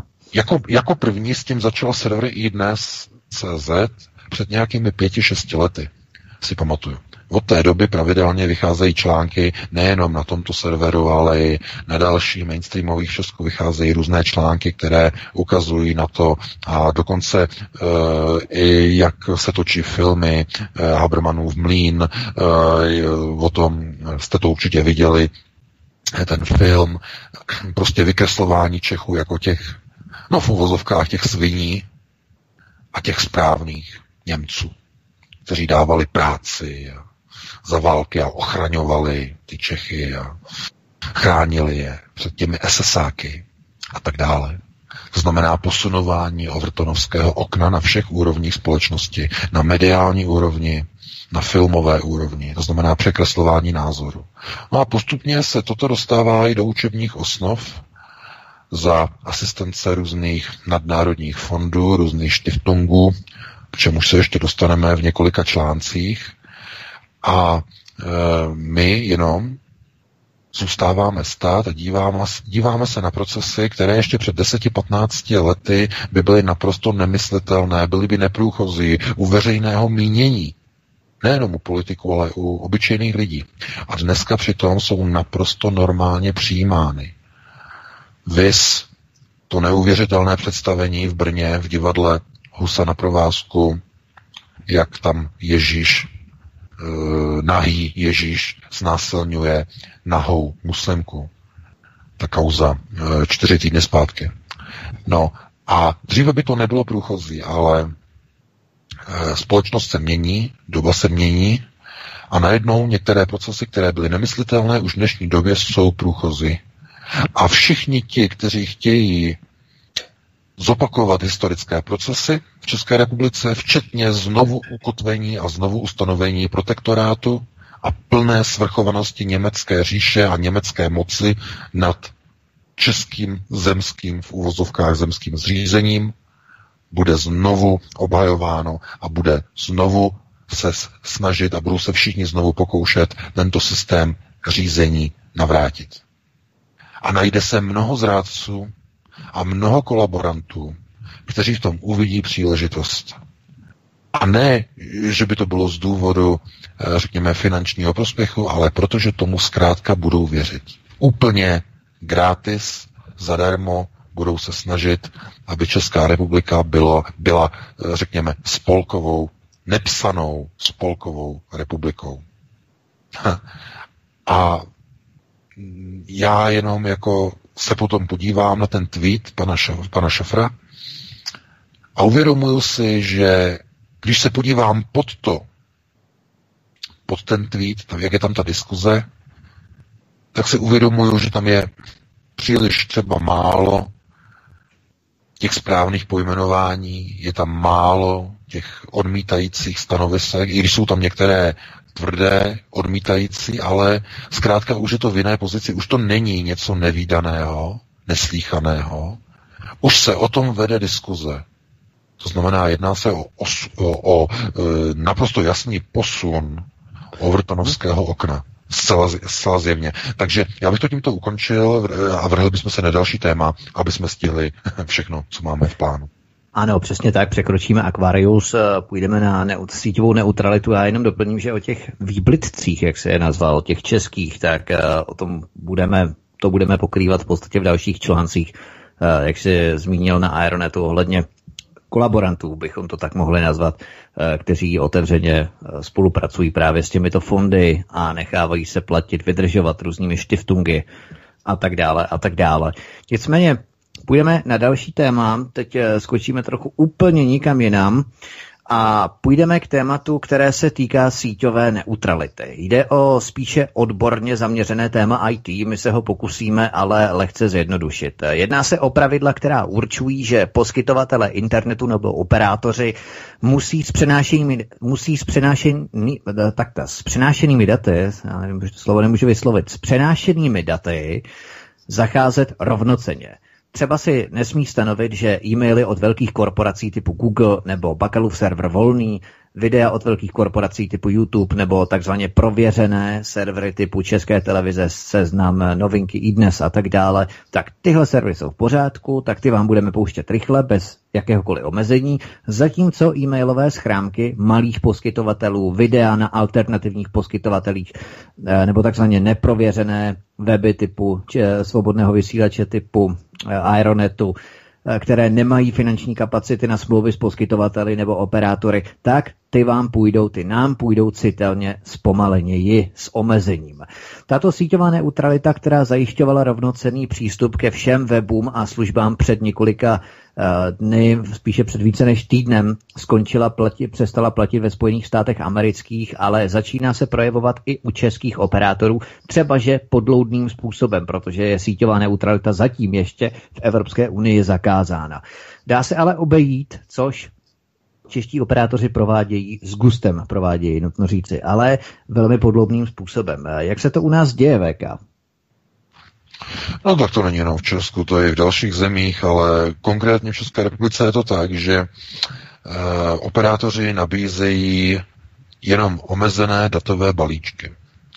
To znamená, e, vy si nakoupíte do svého mobilu za nějaké peníze, většinou hodně předražené, nějaký datový balíček, který je naprosto směšný, který vyplácáte během několika hodin. A jakmile balíček vyplácáte, tak eh, dojde k drastickému zpomalení dat, veškerých dat, anebo dokonce k úplně k zastavení datového provozu. Musíte si koupit další balíček. Někdo si teď možná řekne, eh, co to má společného eh, se síťovou neutralitou. No, hodně. V poslední době totiž eh, tito operátoři zavedli novou službu, která opravdu je na hraně, minimálně z právního hlediska. Velcí operátoři velkých sociálních sítí, jako je Facebook, jako je Google, eh, jako je, já nevím, Snapchat a další, tak uzavřeli s českými operátory speciální eh, rámcové smlouvy, které eh, de facto způsobují, že přímo tito velcí hráči, to znamená velcí provozovatele sociálních sítí, zaplatí ad hoc dopředu, většinou na roční smlouvu, někdy na delší dobu, jednorázový paušální poplatek za všechny zákazníky, kteří budou přistupovat přes eh, tohoto konkrétního nebo přes tyto konkrétní české mobilní operátory na sociální sítě těchto organizací. A co zavedli e, mobilní operátoři? Vy, když si aktivujete balíček XYZ, já tady nebudu dělat reklamu, ale určitě všichni víte, o jakou společnost se jedná, tak můžete e, přistupovat na Facebook, na YouTube, na e, s, další sérii e, sociálních sítí zcela bez datového omezení. To znamená, vy jste pečený vaření na, já nevím, na Facebooku, jste, díváte se na YouTube na videa a nemáte počítaná data. Je to gratis, je to free. To znamená, že vy, když máte tento balíček, máte ho zakoupený, tak měsíc, kde je platnost toho balíčku, potom se můžete znovu jako obnovit, tak měsíc můžete bez omezení pouštět YouTubeový videa, můžete bez omezení na Facebooku a žádná data vám to z vašeho normálního datového balíčku nebere. A je to možné jenom kvůli tomu, že společnost Facebook, Google a další zaplatili vašemu telefonnímu operátorovi, mobilnímu operátorovi peníze za vás. A to je porušení síťové neutrality. Protože operátor de facto vám poskytuje zdarma free přístup, který je datově neomezený, kvůli tomu, že provozovatelů stránky nebo sociální sítě, na kterou se přihlašujete, zaplatil operátorovi peníze za vás. Zatímco, když vy na tom mobilním zařízení jdete na jinou stránku, třeba na svobodný vysílač nebo na Aeronet, tak se vám čerpají data z vašeho balíčku. A když se vám dočerpají, už se nepřipojíte vůbec, anebo u některých operátorů se sníží rychlost na naprosté skandální pomalé minimum nějakých, já nevím, desítek kilobajtů za sekundu. Takže tohleto už je model toho, jakým způsobem evropští mobilní operátoři obcházejí síťovou neutralitu. A proč je to tak možné? No, protože operátoři dneska nemůžou udělat to a říct vám, vy když chcete přistoupit na tento konkrétní datový server, musíte nám zaplatit když chcete mít rychlejší data. Když nám nezaplatíte jako operátorovi, tak vám tuhle tu stránku budeme stahovat do vašeho mobilu mnohem pomaleji. Tohle to je zakázané v Evropské unii.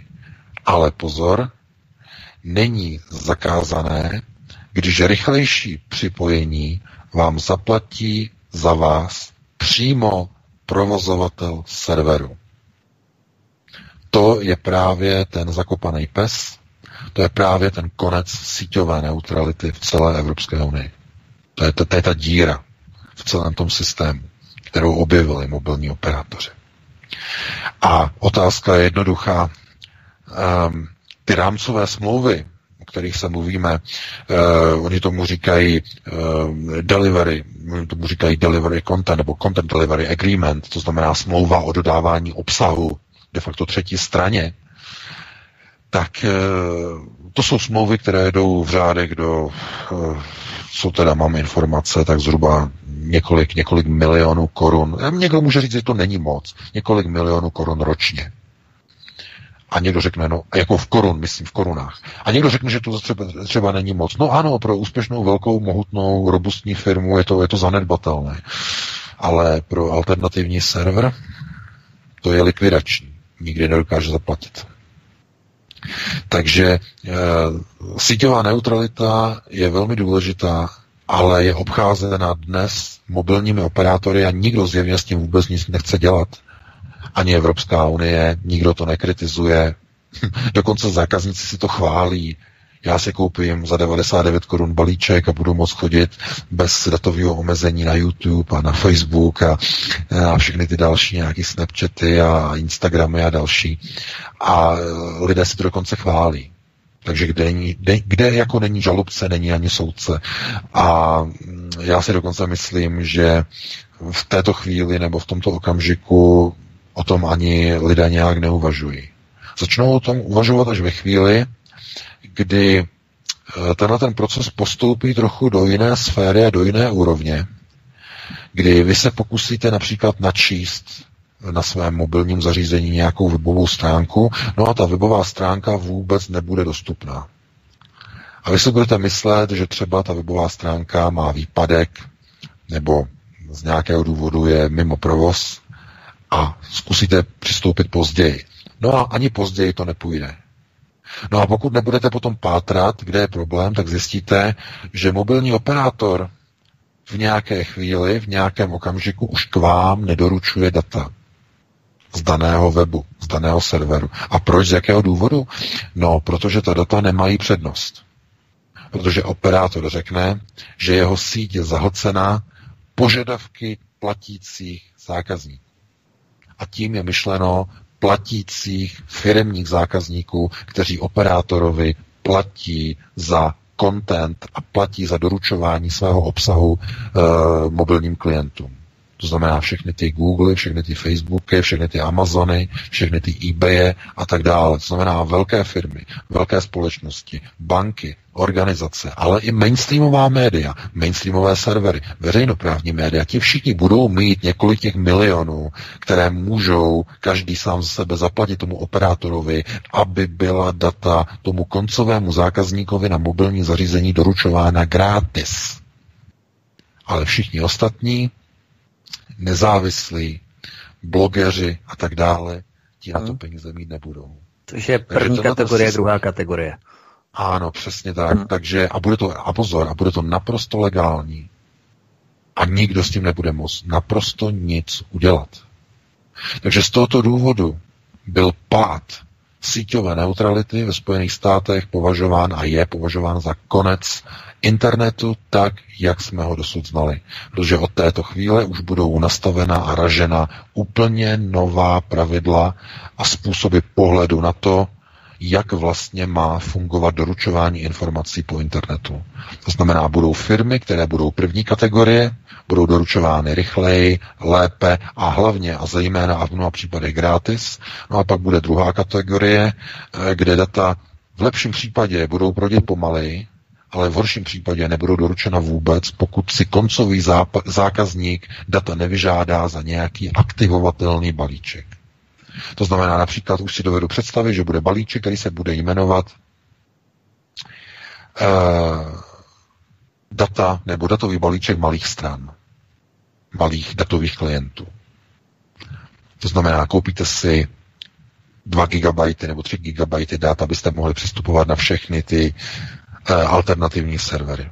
A e, je jedno úplně, kolik jich by jich bylo, nebo nekonečně mnoho. Zkrátka, buď vás dají do toho, do té do skupiny anonymních všech webů na internetu, to znamená všech, kteří neplatí, anebo vás dají do nějakého renku e, vybraných serverů, na který vás zařadí. Což možná bude ještě horší. Hmm. Protože potom bude operátor vidět, aha, tenhle ten zákazník si kupuje balíček, a nevím, Alternativa 20 20 GB alternativy, jo, třeba název. A řekne, vidíte, a on kupuje alternativu 20. A tenhle ten alternativu 50. Ten je sakra zažraný do alternativy. No, no, no, no. Jo, řeknou ti, co to budou pozorovat. Takže tohle je pouze začátek určitého procesu. A svoboda informací a svoboda dat, eh, tak jak byla nastavená, byla nastavená dobře, ale v okamžiku, kdy budou eh, provozovatelé datových sítí účtovat za přenosy dat, nad rámec internetových poplatků za eh, internetové připojení, tak to je cesta do pekel.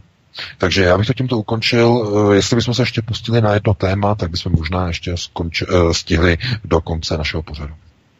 No, já bych možná ještě VK se tě zeptal, tak jako dodatek k této problematice nebo k této tématice ohledně síťové neutrality. Když si vezmeme, že síť je médium, která má nějakou konečnou kapacitu, ta data se do ní musí nějakým způsobem vejít.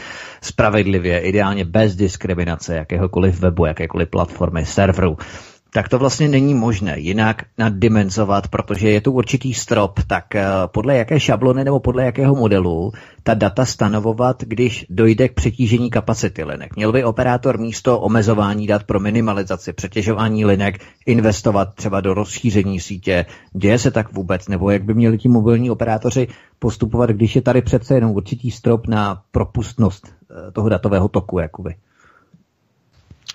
Eh, no, tak samozřejmě, co se týče investování do posilování sítí a datových infrastruktur, eh, tak eh, aby si někdo nemyslel, že to je nějaká charita. V tom jsou zabudovány obrovské zisky, obrovské peníze, které jsou poměrně nedozírného charakteru, ale pouze veřejnost o tom neví.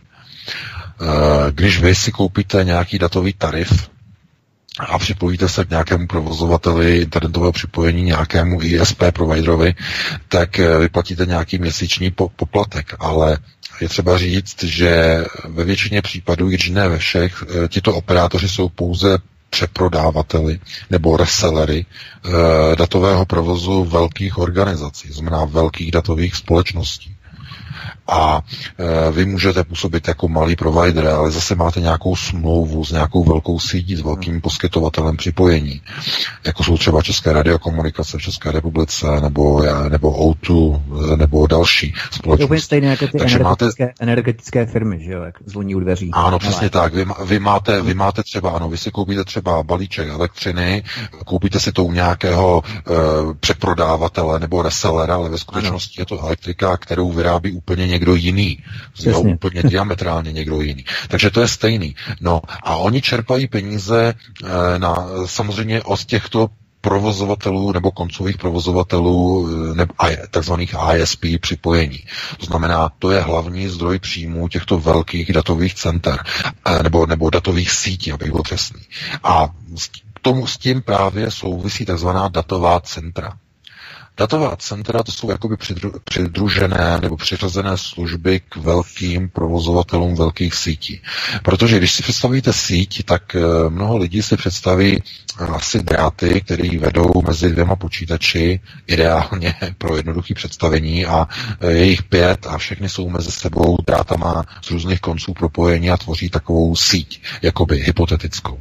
Ale takhle jednoduchý to není, protože ty dráty, nebo řekněme to, co spojuje eh, já nevím, jedno město s druhým na úrovni datového připojení, tak skutečně je série kabelů. Není to jenom jeden kabel, je to svazek několika kabelů, které jsou redundantně vlastně uložené v zemi, mm. aby kvůli poruchám a řekněme duplicitě přenosů a, a dalším důležitým záležitostem, ale eh, na konci těchto těch vlastně připojovacích bodů jsou speciální gateway, nebo můžeme říct, jsou speciální datová centra, která zpracovávají protékající data, která proudí těmi kabely. A to jsou, to jsou obrovské, eh, řekněme, prostory, eh, kde vlastně jsou jednak eh, routovací systémy, jsou tam datová úložiště, takzvané buffery pro vyrovnávání trafiku, jsou tam další důležitá zařízení. To znamená, i provoz těchto těch datových center je poměrně finančně nákladný. Takže aby toto bylo nějakým způsobem finančně pokryto, tak eh, tyto společnosti nabízejí eh, přidružené produkty. Jsou to většinou cloudové služby. Jsou to, to jsou, určitě hmm. znáte, že uložte si do cloudu data. To znamená, jedním z dalších zdrojů těchto společností jsou cloudové služby. Dále jsou to služby pro banky backupové systémy pro velké společnosti. Takže oni generují pochopitelně tyto společnosti nadnárodní sítě nadnárodní společnosti generují obrovské peníze. To si nemyslete, že to je ztrátové. A samozřejmě e, účtují trafik, to znamená data, která proudí jejich sítěmi. I když zdaleka e, to nejsou takové peníze, jaké by si oni představovali. Ale to jsou poplatky, které vybírají od koncových ISP operátorů. To znamená za přenosy těch dat jsou, jsou měřené nebo i neměřené u velkých odběratelů, klientů a tak dále, jenom takzvané flat tarify, ale to bychom zacházeli do eh, velmi eh, podrobných eh, diskuzí a na to není čas.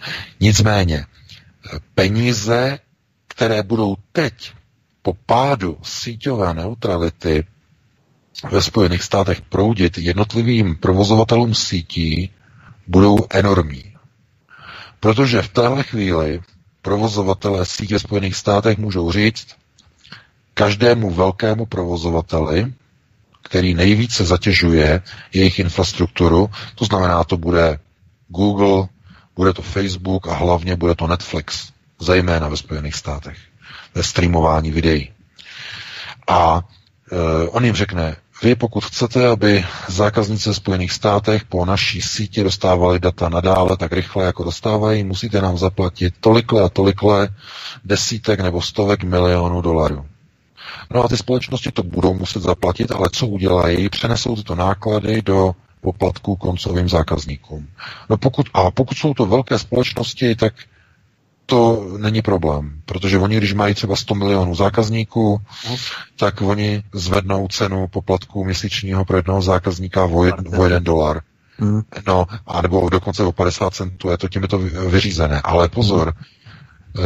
v těch sítích nezbyde už potom prostor pro malé klienty. Ti za prvé nebudou mít peníze na to, aby zaplatili nějaké velké peníze a za druhé e, ti velcí je přeplatí. I kdyby měli peníze, tak je přeplatí. Amazon, Netflix řekne, jako vy jste teď tady vyčlenili nějaké datové pásmo pro nějakou startupovou malou společnost, která začíná. Oni mají nějakého investora a vy jste jim vyčlenili 10% svý trafikové sítě, svého trafiku. Jak je to možný? Vy tím zpomalujete náš Netflix, řeknou manažeři z Netflixu. A co udělá provozovatel sítě? On si uvědomí, aha, tady jsou dva hráči. Malý a velký. A oba dva se chtějí vejít do mojí trubky.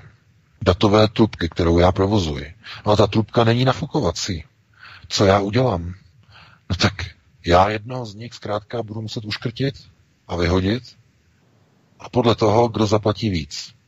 No a sami si představte, jestli tu vyšší cenu eh, dokáže zaplatit eh, velká ryba nebo ten malý začínající startup. To znamená například Netflix je největší, zaplatí si totiž, eh, řekne si, my zaplatíme, zaplatíme si cenu, která je třeba o 20% vyšší, přeplatíme konkurenci. No a ten malý startup, začínající společnost, která třeba potřebuje určité datové pásmo pro obsluhu svých, svých onlineových služeb, třeba mají nějaké streamování něčeho, to je jedno, čehokoliv, a potřebují datové, datové pásmo, No ale vzhledem k tomu, že nebudou moci konkurovat velkému gigantu, tak zkrátka na trhu skončí. Ještě dříve, než začnou. A startup je v koncích. Kdyby totiž padla síťová neutralita už v roce 99, 98, společnost Google by nikdy nevznikla. Protože zakladatelé Google by nikdy neměli peníze na to, aby Google vznikl. By konkuroval tehdy tehdejší americké jedničce, která dominovala americkému trhu koncem 90. let, byla společnost Yahoo. Mm-hmm. Nikdy, nikdy by na to neměli peníze. To, takže to, co začíná dneska, je likvidace technologického vývoje a především nových startupových projektů. To znamená zabetova, zabetonování dinosaurů, těch mm-hmm. největších ve svých pozicích mm-hmm. a nebude možné je porazit, nebude možné je přeplatit. Tohle to je, je to, co se týče inovací, tak pád síťové infrastruktury, teda síťové neutrality, je likvidací veškerých inovací na internetu, takzvaných moderních médií. Naprostá likvidace. A jak dlouho to, nebo jak dlouho budeme čekat, než se ty, eh, řekněme, důsledky projeví? No, může to být velmi brzo a uvidíme, jestli dojde k nějaké změně. Ve Spojených státech je iniciativa e, na úrovni e, kongresu na zrušení tohoto zákona e, regulačního úřadu amerického, to znamená, aby to zrušil přímo kongres, aby to bylo dáno zákonem, že e, síťová neutralita musí být uzákoněná, protože na rozdíl od Evropské unie, kde je toto uzákoněno ve Spojených státech, toto bylo pouze pravidlo. Eh, federálního eh, regulačního úřadu pro komunikace. Nebyl to zákon, jenom pravidlo. To je jeden z dalších nedostatků třeba amerického zákonodárství, že i když eh, Amerika je vlastně mateřským lůnem internetu, tak tady takovouhle základní věc tam vůbec nemají ukotvenou v žádných zákonech. Takže uvidíme, jak to všechno dopadne. Máme 21 hodin, dali bychom si přestávku, jednu písničku a potom bychom se pustili do telefonických dotazů. Přesně tak, dáme písničku a potom pojedeme dál poslouchat svobodný vysílač hovory s eh, VK, šéf-redaktorem z pravodajského alternativního serveru Aeronet.cz. večer. Tak eh, Vítku, máme už prvního volajícího připraveného na, eh, na telefonu, tak můžeme jít na dotazy? Já doufám, že moc nečekal volající. Paní posluchačka byla velice ochotná, protože si to pořadí prostě vystojí, tak můžeme? Prý, že nejsou fronty za kapitalismu, nám říkali, tedy no, tak jsou telefonické minimálně. ano, na svobodném vysílači rozhodně, tak uh, jdeme do vysílání. Halo, halo, slyšíme se? Ano, slyšíme. Jste ve vysílání, povídejte. Dobrý večer, u telefonu Jana Změlníka. Já budu teď mluvit trošku mimo téma, co teď pan VK mluvil, protože jsem se svobodným vysílači přišla před chvilkou. A to z toho důvodu, že jsem byla na demonstraci v Praze na Klárově, která probíhala od včerejška 12 hodin poledne, kde se měli sejít vlastenci, kteří eh, měli vlastně demonstrovat proti podpisu Dublinu 4, Lisabonské smlouvy, prostě těch globálních faktů. A dokonce byl u vás eh, ve středu ve vysílání pan Jura Černohorský, který to vlastně ve své podstatě celý inicioval. E, strašně mě mrzí, že se tam sešlo opravdu málo lidí. Jestli tam byla stovka lidí, tak to bylo hodně. E, jsem úplně znechucená z toho, že se snažím svobodný vysílač poslouchat pomalu dnes a denně. Veškerý důležitý pořady, včetně pana VK, nevynechám jediný týden. A o těch úmluvách jsem mluvila minulý týden. Já se chci prostě zeptat mě posluchačů, a vůbec i svobodného vysílače, proč se tomu udělali větší reklamu, proč tam ty lidi prostě nebyli, kde byli pánové Pepa z Pardubic, nechci se dotýkat konkrétně pana Pepy z ale to jsou lidi, kteří tam volají pořád, vyjadřují se ke všemu, jsou všichni moc chytrý, ale nikdo na ten Kláros nedorazil. Jediný, kdo tam byl z lidí, který já znám, byl pan Poner, a to bylo všechno. Jako, fakt jako šílený. Jako, tady se mluví o tom, že by ta iniciativa měla vzejít od spoda. To znamená od nás, obyčejných lidí. A byli tam lidi na vozejku, boberlí, který zvedli ty zadky a šli demonstrovat proti těm úmluvám. A to bylo celý. Podepsalo se tam několik pety, ale prostě ta účast byla tak zoufalá, dokonce Ortel, který měl dorazit ve 4 hodiny eh, do půl sedmí, vůbec nedorazil, pak jsem odešla, takže nevím, jestli dorazil. Nicméně jsem se prostě chtěla zeptat, eh, čím si pan VK myslí, že tohle to je. A ještě jedna zajímavá informace pro posluchače. Netuším, kolik posluchačů poslouchá svobodný vysílač. Domnívala jsem se, že je to víc než 100 lidí. E, ta demonstrace byla tak důležitá, že prostě se stydím, fakt se stydím za občany, kteří vykřikují a mají plnou hubu kecu, že jsou vlastenci a nic pro to neudělají. Doslova nic. A SPD zakázalo svým členům, aby na tu demonstraci chodili. Že to není vhodný. E, je na to dopis od pana Kobzy, takže se to dá i doložit. A je to nehorázný. A já, která jsem SPD volila a která se cítím být vlastencem, jsem opravdu znechucená a jenom jsem se pana VK chtěla zeptat a celého svobodného vysílače, jak je možný, že ta účast byla takhle malá, proč se tomu prostě neudělali větší reklamu a z jakého důvodu si pan VK myslí, že ta účast byla prostě takhle malá. To je všechno. Hmm, já ještě když, mi utečete, ještě když mi utečete, já vám položím otázku. Ano. Jak jste dospěla, nebo odkud máte tu informaci, že SPD zakázalo tu účast, do jaké míry ta je informace přímo, je relevantní? Je to přímo od pana Jury Černohorského, který dostal přímo dopis od pana Kobzy, Eh, s kterým prostě se mu omlouvá, že to prostě není vhodný, aby eh, členové SPD se zúčastnili. Byli tam nějaký asi dva nebo tři, kteří tam byli na zapřenou, eh, že to není vhodný, že bude lepší, když se jako rozdělíme, když vlastenci si budou demonstrovat sami a SPD a jejich jakoby příznivci sami. Což mi připadá jako totální hloupost, protože v jednotě síla, to známe všichni, a víme, že čím víc lidí je, jestli se nechtěli skorumpovat, eh, nebo SPD prostě to má tak, že se vás proustruje, hodně proustruje. Já jsem byla člen čekatel, z nějakého důvodu už se mi nevozvali. To je správně, Asi prostě někde se jim něco nelíbilo a měli pocit, že bych je mohla skorumpovat, já prostě nevím. Podstatný je, že se mi tohle prostě nelíbí. I ty členi SPD jsou občani, ne občani, ale občani, kteří mají vlastní mozek. A neměli by na základě toho, že se bojí o koryta, nebo já nevím, o co se bojí. Hmm, ale tak prostě, eh, Jestli to, tak nemusí být členem té organizace, že jo? To je zase na druhou stranu pravda, pokud se nechtějí nechat omezovat. Ale nechme prostor panu VK. Jo, dobře, já, Děkuji se, vám. já se umám, jsem taková rozrušená, ale mě to fakt hrozně vytočilo, takže se omlouvám a samozřejmě budu poslouchat a děkuji za odpověď. Pokud jsme vás rozrušili, tak je to dobře. Mějte se krásně, hezký večer. Naschle. Naschledanou, já jenom VK, jestli dovolíš dvě poznámky, opravdu ve stručnosti. Jedna poznámka je ohledně SPD.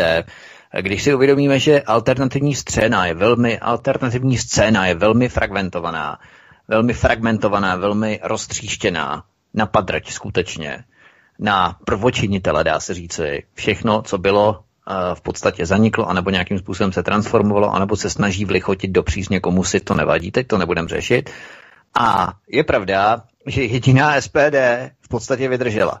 Jediná SPD ustála všechny ty turbulence, které se odehrávaly na alternativní scéně. To je nutné si uvědomit, čím to asi je způsobené. To je poprvé. že se nenechali zatáhnout do těchto různých šarvátek, alternativních trumfování, kdo z koho a kdo bude lepší, kdo horší a tak dále. Prostě jediná alternativní frakce, která vydržela, byla SPD, ať se tomu někomu líbí nebo ne. To je za prvé. A za druhé, eh, víte, když eh, je eh, médium, a které každý zná jako svobodný vysílač.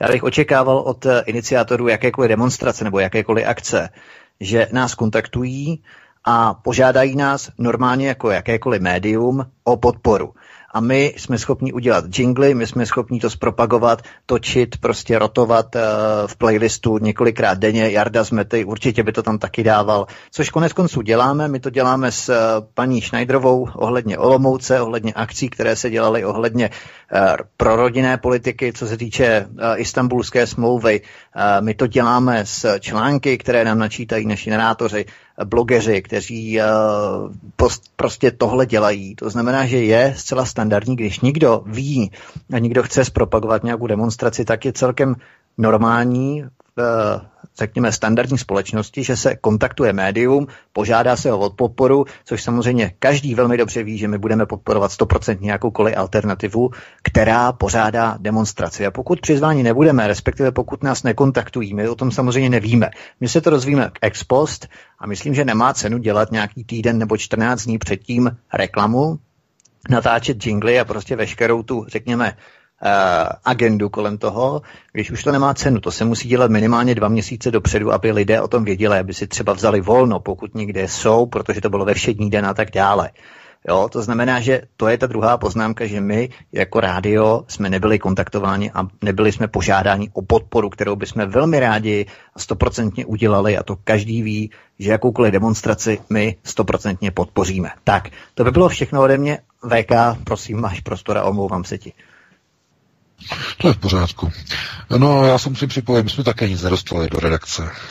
E, zase nějakou žádost o publikaci, nějaké akce, pozvánku, také nic jsme nedostali, takže v této věci já opravdu e, se jenom tak trošku pozastavuji nad tím, jako kdo třeba to organizoval a e, proč nerozeslal žádosti do redakcí alternativních serverů a studií, aby udělali třeba nějaké upoutávky, nějaké pozvánky a tak dále a tak dále.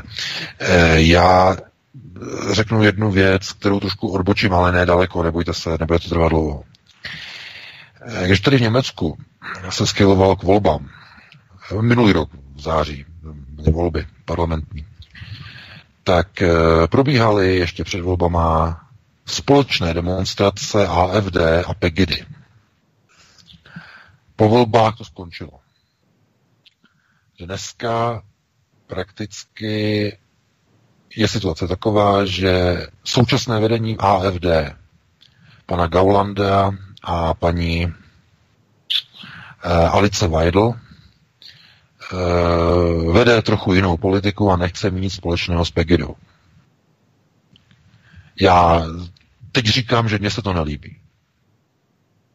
A e, já nemůžu, já nevidím do situace, jaká je v České republice, protože e, ve věci, e, ve věci vztahu SPD a dalších subjektů. Sám si říkal Vítku, že alternativa včera je strašně roztříštěná. No my tady, žád, spolupráci. my tady žádnou ani druhou Pegidu nemáme, VK, to je ten ano, problém. Ano, tady přesně, třeba byla a, to ještě, a, to ještě, a to ještě, a ano, přesně tak, a to ještě tam nemáte ani žádnou nějakou Pegidu českou, nemáte. Vidíte. A tohle to zkrátka je, já tomu říkám, nebude to znít pěkně, paní na to odpovím, na tu otázku, co si o tom já myslím. Já tomu říkám čelní střed s realitou. To je realita. Zkrátka, eh, některé subjekty usoudí, že z politického hlediska není dobré eh, jít do demonstrace z, eh, a přesně zopakuji slova paní s nějakými neprověřenými osobami. A z jakého důvodu? No, protože některé ty neprověřené osoby můžou být provokatéři některých služeb. A nechci jmenovat. A s tím má například dobré zkušenosti, ne dobré, špatné zkušenosti. E, například pan Bartoš z Národní demokracie, kterému různí pracovníci různých státních služeb rozvrací jeho demonstrace, provokatéři, vystupující za demonstranty, aby následně mohly být demonstrace národní demokracie rozpuštěné a tak dále a tak dále. Takže SPD se bojí, já tomu rozumím, že když se připojí nějaké demonstraci, že tam můžou být provokatéři třeba z vnitra nebo z různých neziskovek, kteří se pokusí tu demonstraci zdiskreditovat. Takže na to se musíte dívat tak z toho, z toho pohledu, že SPD je parlamentní strana a teď oni hrajou podle jiných pravidel, mají strach, aby náhodou na, na ně nebyla provedena pouliční provokace. Protože oni si musí dávat obrovský pozor, takže to nemusíte překládat si do takové pohodoby, že s vámi nechtěli jít do demonstrace, protože už třeba na vás takzvaně kašlou a mají nos nahoru a už vás nechtějí. Ne, ne, ne. Může to být, já tomu věřím, nebo chci tomu věřit. Je to způsobené obavami z provokace jít do demonstrace s neprověřenými lidmi. To je ten, to je ten hlavní důvod. Si myslím tedy já. No a potom je tam ten druhý důvod, který by byl tedy velmi nepěkný a to by bylo jakési distancování se od alternativy. Úplné distancování SPD. No to snad asi ne. Doufejme, že ne. To já bych byl opravdu velmi zklamaný, ale eh, opravdu jenom říkám a při, přirovnávám to k modelu, který je tady v Německu. Eh, Mimochodem v Drážďanech tu byly pořád demonstrace Pegidy ještě minulý rok a AFD a Frauke Petry vystupovala v Drážďanech na náměstí a, a společně s Pegidou a, te, a, konec. Poté, co Frauke Petry e, těsně po volbách, několik hodin po volbách odstoupila z vedení strany, tak Alice Weidel a Alexander Gauland nastavili úplně jiný politický směr.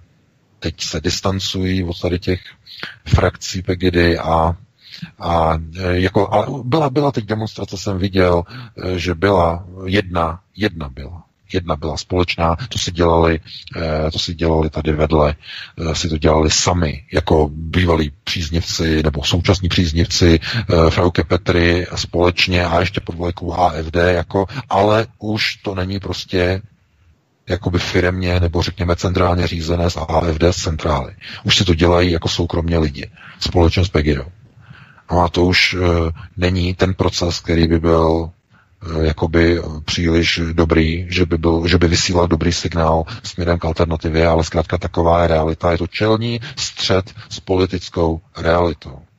A já věřím tomu, že tohle je pouze jakýsi záchranný nebo ochranný mechanismus SPD před tím, aby například nešla do demonstrace, kterou potom za rohem Česká televize má v plánu natočit jako provokaci že tam najednou začne někdo zobrazovat třeba nacistické symboly a křičet. Třeba, já nevím, povězte tady toho, nebo uh, vyplynujte tady ty lidi a, a různé, různé úmyslně vykřikované hesla, nebo vykřikovaná hesla, aby je mohla natočit česká televize, která stojí za rohem s kamerou. Uh-huh. Provokace. Proti SPD.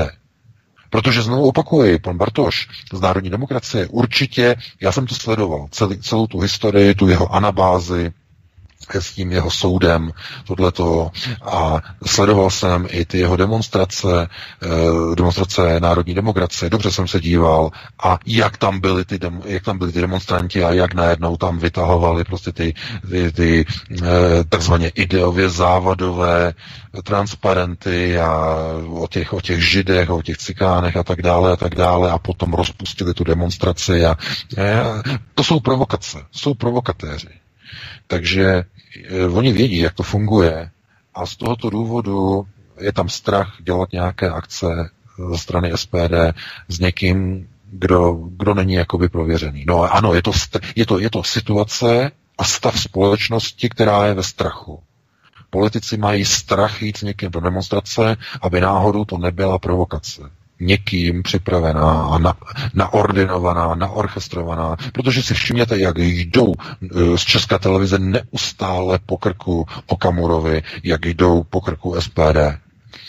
Ale hm, je jasné, že to zklame mnoho lidí, e, když SPD odmítne, mnoho lidí si to vysvětlí a přeloží úplně jinak, že najednou SPD už s náma nechce nic mít a mnoho lidí hm, to zklame a já mám pro to pochopení. No, bohužel taková je politika. Říkám, srážka, čelní srážka s politickou realitou je, je opravdu tvrdá, těžká a lidi přicházejí k obrovským deziluzím. Bohužel. Máme dalšího volajícího, tak jestli tak já ho vemu. No. Když tak, eh, Petře, napiš, eh, že někdo volá vždycky do chatu a můžeme zkrátit případně odpovědi. No. Fajně, dobře. Tak Dost výborně. Tak prosím, máte prostor, jste ve vysílání. Dobrý večer, tady Ivo. Já souhlasím s panem VK, že ten vztah SPD versus demonstranti, demonstrace je o závadových osobách nebo o neprověřených osobách. Tím se plně stotožňuji. Co se týká paní Změlníka, chtěl bych se jí zeptat, když jí tak rozčíla malá účast na té akci, jestli si uvědomuje, že asi počet lidí pro, při protestu není ta úplně nejzásadnější věc. Nejzásadnější věc je ta, že vůbec někdo ten protest vyjádří. A řekněme si upřímně, ta akce byla pořádaná sice dva dny, ale v době, kdy většina normálních lidí chodí do práce, je v pracovním procesu, a e, nemůže se třeba z té práce uvolnit. A pak bych se ještě chtěl paní Změlníka zeptat, e, když jí teda naštvala ta malá účast, e, kde byla celý ty roky, třeba od roku 2013, když do nás řezali u úřadu vlády nebo na Václavském náměstí a kde, kde v té době byla ona? Byla tam s náma nebo chodila s náma demonstrovat? Jako my jsme přestali chodit demonstrovat z toho titulu, protože vidíme, že to nikam nevede že vláda a vládní garnitura v tomhle státě si z demonstrantů dělá akorát srandu a s proměnutím, že to tak řeknu, s peticema lidí si vytírá prdel. Takže musíme zvolit jinou formu protestů, musíme zvolit jinou formu práce, která bude mít účinek a myslím si, že zrovna SPD na to přišla taky a v současné době tady na tom pracuje. Takže děkuju a to je všechno, budu poslouchat. Tak děkujeme. děkujeme. Já bych jenom poprosil, aby, aby si posluchači nevyřizovali takto nepřímo účty s eh, předchozími volajícími. Každý má ten svůj stupeň probuzení v určité fázi, někdo se probudí dříve, někdo později, tak si nemyslím, že to je příliš korektní.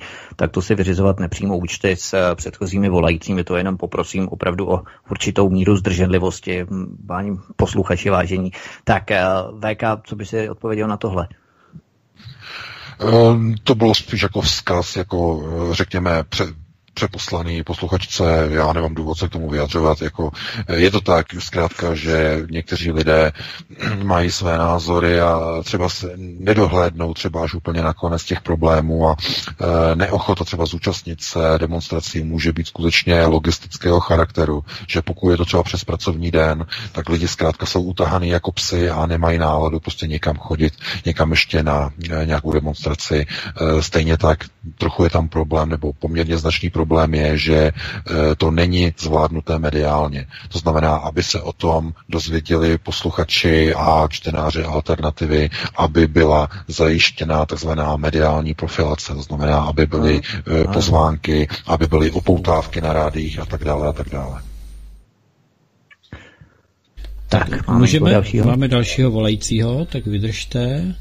Ano, já vás zdravím, jste ve vysílání, dobrý večer. Dobrý večer, já opět pana VK tak nějak jako odsunu na druhou kolej, asi ho zklamu, že nemám dneska žádný dotaz, Blanka Skladna, ale chtěla bych k té paní, když je teda tak strašně pobouzená tím, že tam nikdo nešel, tak ji asi pobouzím ještě víc.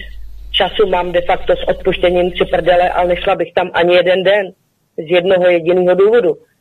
Protože minimálně deset let se snažím každému ve svém okolí nějak nadhodit, říct, v práci, kdekoliv, i formou jakoby humoru, nebo prostě na, ty lidi nějak navést na to, aby, aby prostě začali přemýšlet o tom, co se děje. Ne, nikdo nebude přemýšlet.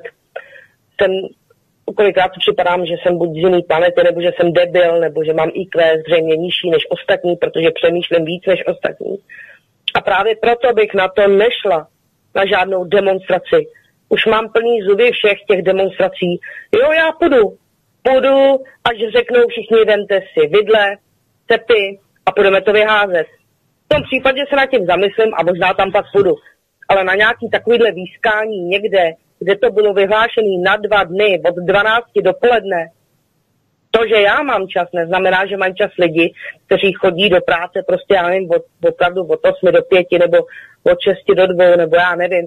Prostě ta paní, to její rozhořčení mě, mě osobně přivádí k smíchu. To je vše, co jsem chtěla říct. Dobrou noc. Děkujeme, dobrou noc. Já jenom bych chtěl tak, trošku tak připomenout, abychom e, drželi dekorum a, a některá vulgární slova zkusme změnit na nějaká víc česká a nechoďte posluchači jeden do druhého, spíš pojďme k té věci. Pane Veka. No, já říkám, tohle to je už eh, v té pozici spíš jako osobních útoků, já bych tomu nechtěl vůbec jako nic dodávat. Já jenom zopakuju jednu věc, že opravdu řeba, eh, načasování jakékoliv demonstrace musí brát ohledy na uh, běžného člověka, který pracuje od těch osmi do těch pěti, pokud je v úřadu, nebo od 9 do 5, pracuje v úřadech nebo v nějakých službách, anebo pracuje ve fabrice od 6 do 2 tak musí se na to brát ohled. A pozor, pokud minimálně tady v Německu, eh, Pegida, když dělala demonstrace, tak vždycky všechno dělali večer, když lidi přijdou z práce. Dělat něco od, já, já nevím, já nemám informace, pokud to bylo někdy od, od oběda, to jako ne, to jsou lidi prostě pryč. To Vlastně, možná Pegida, maximálně... Pegida byla vždycky, nebo Bergida byla vždycky pondělí od, já nevím, sedmi, od půlsek, ano, ano, ano, přesně tak, přesně tak. Musí se brát prostě uh, ohled na tu audienci, kterou uh, chystáte oslovit. To znamená, když budete oslovovat hlavně důchodce, no tak důchodce můžete svolat klidně i na dopoledne. Ale pokud chcete pracující aktivní, aktivní lidi, tak uh, musíte prostě svolávat na večer. To je normální. Jako. Já bych jenom doplnil, že my jsme tady měli perfektně našlápnuto eh, v roce 2015-2016, kdy skutečně ty demonstrace měly smysl, měly mobilizační efekt, aktivizační efekt eh, na masy. Museli jsme v podstatě opravdu eh, nějakým způsobem ventilovat ten náš nesouhlas, kolektivní nesouhlas s tím, co se tady dělo a jaké procesy byly nastartovány. Ten čas, jak si vypršel, ten vrchol těch demonstrací, už eh, strmě klesá dolů, dnes už demonstrace neaktivizují, nemobilizují, protože my, my jsme ten mobilizační efekt skutečně prošvihli. A dnes už podle mě na demonstrace není místo, dnes je místo na mnohem širší procesy většího záběru, to znamená makat celý rok, několik jenom, nikoliv jenom párkrát, dvakrát, třikrát za rok na nějaké demonstraci. To vůbec, to není absolutně o ničem. Musíme makat celý rok, musíme ovlivňovat řídící procesy v pozici médií, to znamená, musíme vysílat, musíme makat každý týden, než kvůli každý den, musíme vysílat, musíme vysílat ty procesy a signály, že se opravdu tady něco děje, že nejsme v tom sami, že je hodně lidí, není pravda, že někdo v našem okolí, já znám mnoho lidí ve svém okolí, kteří opravdu už začínají přemýšlet, začínají se přiklánět eh, k těm, eh, tezím, které my razíme, idejím, vizím a tak podobně. To znamená, je to tady, akorát je potřeba opravdu makat každý den, v rádiu, eh, blogy, servery, cokoliv, ale makat. Ne si myslet, že uspořádáním dvou, tří demonstrací během roku se něco změní. To vůbec ne. Absolutně ne. Ten vrchol už klesá, my jsme to prošvihli, musíme teď ovlivňovat širšími procesy v rámci mediálního řízení, působení mediálního pole a takto v podstatě kontinuálně působit na lidi co největší měrou.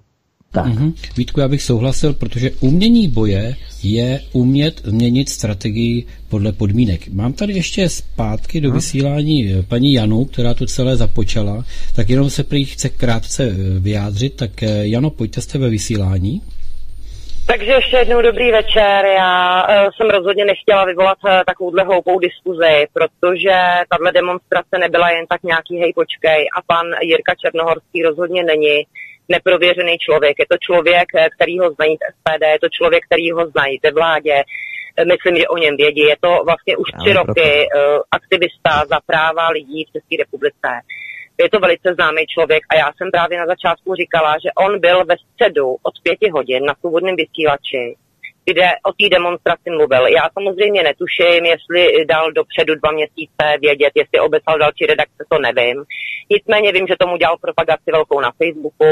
Já jsem se k němu dostala úplně náhodou, takže prostě lidi, který mám ve sledování, který prostě se o tyhle věci zajímají, tak jsem nějakým způsobem se dostala i k němu. To znamená, sleduju eh, jeho jednání, konání. On vlastně podal i trestní oznámení na vládu České republiky za souhlas, který udělili právě k těmhle těm eh, jakoby globálním paktům. A tady se nejednalo o to, aby tam někdo dělal provokace a vykřikoval, ale byla to naprosto poklidná demonstrace, kde se vlastně mluvilo o tom, co znamenají ty úmluvy, co se v nich píše, kdo je přeložil, kdo z nějakého důvodu ne, vůbec eh, ty věci prostě implantuje do společnosti, z jakého důvodu, co se na nás chystá, co se chystá na naše děti, vnoučata v rámci různých úmluv eh, typu, že mi můžou ty děti potom vzít a všechno možné. Takže skutečně se tam ujasňovalo i pro ty lidi, kteří nevědí přesně o co jde, aby pochopili, o čem ty úmluvy jsou. A vlastně měl, bude se předávat vládě vlastně petice podepsaná z té demonstrace, Eh, jakoby za to, že nesouhlasíme, aby se, ta, aby se ty smlouvy, ty globální pakty podepsaly. To znamená, nebylo to žádný prostě dikšikování do nesmyslů, nebylo to žádný demonstrace od Kalouska, byla to demonstrace skutečně vlastenců, lidí, kteří si nepřejou, aby jsme se dostali do těchto problémů. A proto ta účast byla důležitá. Hlavně kvůli tomu, aby se podepsala ta petice. Ty petice samozřejmě se podepisovaly už i předtím dlouhou dobu a těch podpisů je mraky. Ale šlo i o tu psychickou podporu na všech, který za něco bojujeme. A jestli si někdo myslí, že vezmeme vidle a lopaty a půjdeme někoho vyházet, ano, samozřejmě, možná to tak dopadne. Ale myslím si, že to je až ta nejzaší možná cesta k tomu, aby jsme tady něco získali. Já netvrdím, že to k něčemu bude, ale prostě já jsem ten zadek zvedla a tu demonstraci jsem dělala. Ano, v roce 2013 jsem opravdu na demonstraci nebyla, protože v tu dobu jsem se ještě o tyhle věci nezajímala. Přesně jak jste říkali, probudila jsem se až teď. Nicméně prostě se taky snažím burcovat lidi kolem sebe, taky se mi smějou, taky říkají, že jsem maglor, anebo mě rovnou neposlouchají. Ale o tom to není. Dneska šlo prostě upo, a dneska a včera. A tak. to, že je to ve všední den, to byl úmysl, protože jsme chtěli, aby tam ty uh, lidi na tý, vlastně uh, tam byli, že jo. A oni teda ku podivu nějakou záhadnou okolností osudu mm-hmm. zrovna měnili na úřadě vládu, vlády, vlády v okna. To znamená, čtvrtek, pátek se tam měnili okna, to znamená, oni byli někde e, na Loretě, takže tam no, samozřejmě nebyli, Jano, ale Jano, to můžu, prostě vás, můžu vás trošku zastavit. Eh, já osobně jsem natočil asi čtyři pořady z hosty, kde jsme tuhle problematiku probírali a tady na svobodném vysílači to je velice frekventované a velice ventilované téma. Takže uh-huh. je to určitá duplicita a chtělo se to možná jenom lépe domluvit. Tak děkujeme, že jste zavolala. Jo, tak Mějte jo. se fajn. Díky. Naschle. Tak, tak pánové, chcete k tomu něco? něco? Já myslím, že, může, že je to schrnuté, že můžeme dát prostor dalším volajícím. No.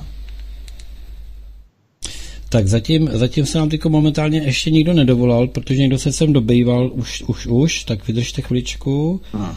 Zkusíme poprosit halo, eh, halo. posluchače, prosím, zkraťte. Halo. Jste ve vysílání, pojďte tedy krátce, ať se dostane na co nejvíc. Dobrý večer. Dobrý večer, je mě slyšet, prosím? Je vás slyšet, jste ve vysílání, hovořte, povídejte. Ano, dob- dobrý večer. Pro všechny, zvláště pro pana VK, já jsem Jana Znejtku a ráda bych se ho zeptala, protože ho pravidelně poslouchám, tak v jedné debatě mluvil o tom, že v nynější době nebo v nedávné době nebo v současné době eh, dochází k přesunu majetku do soukromých rukou jednotlivců.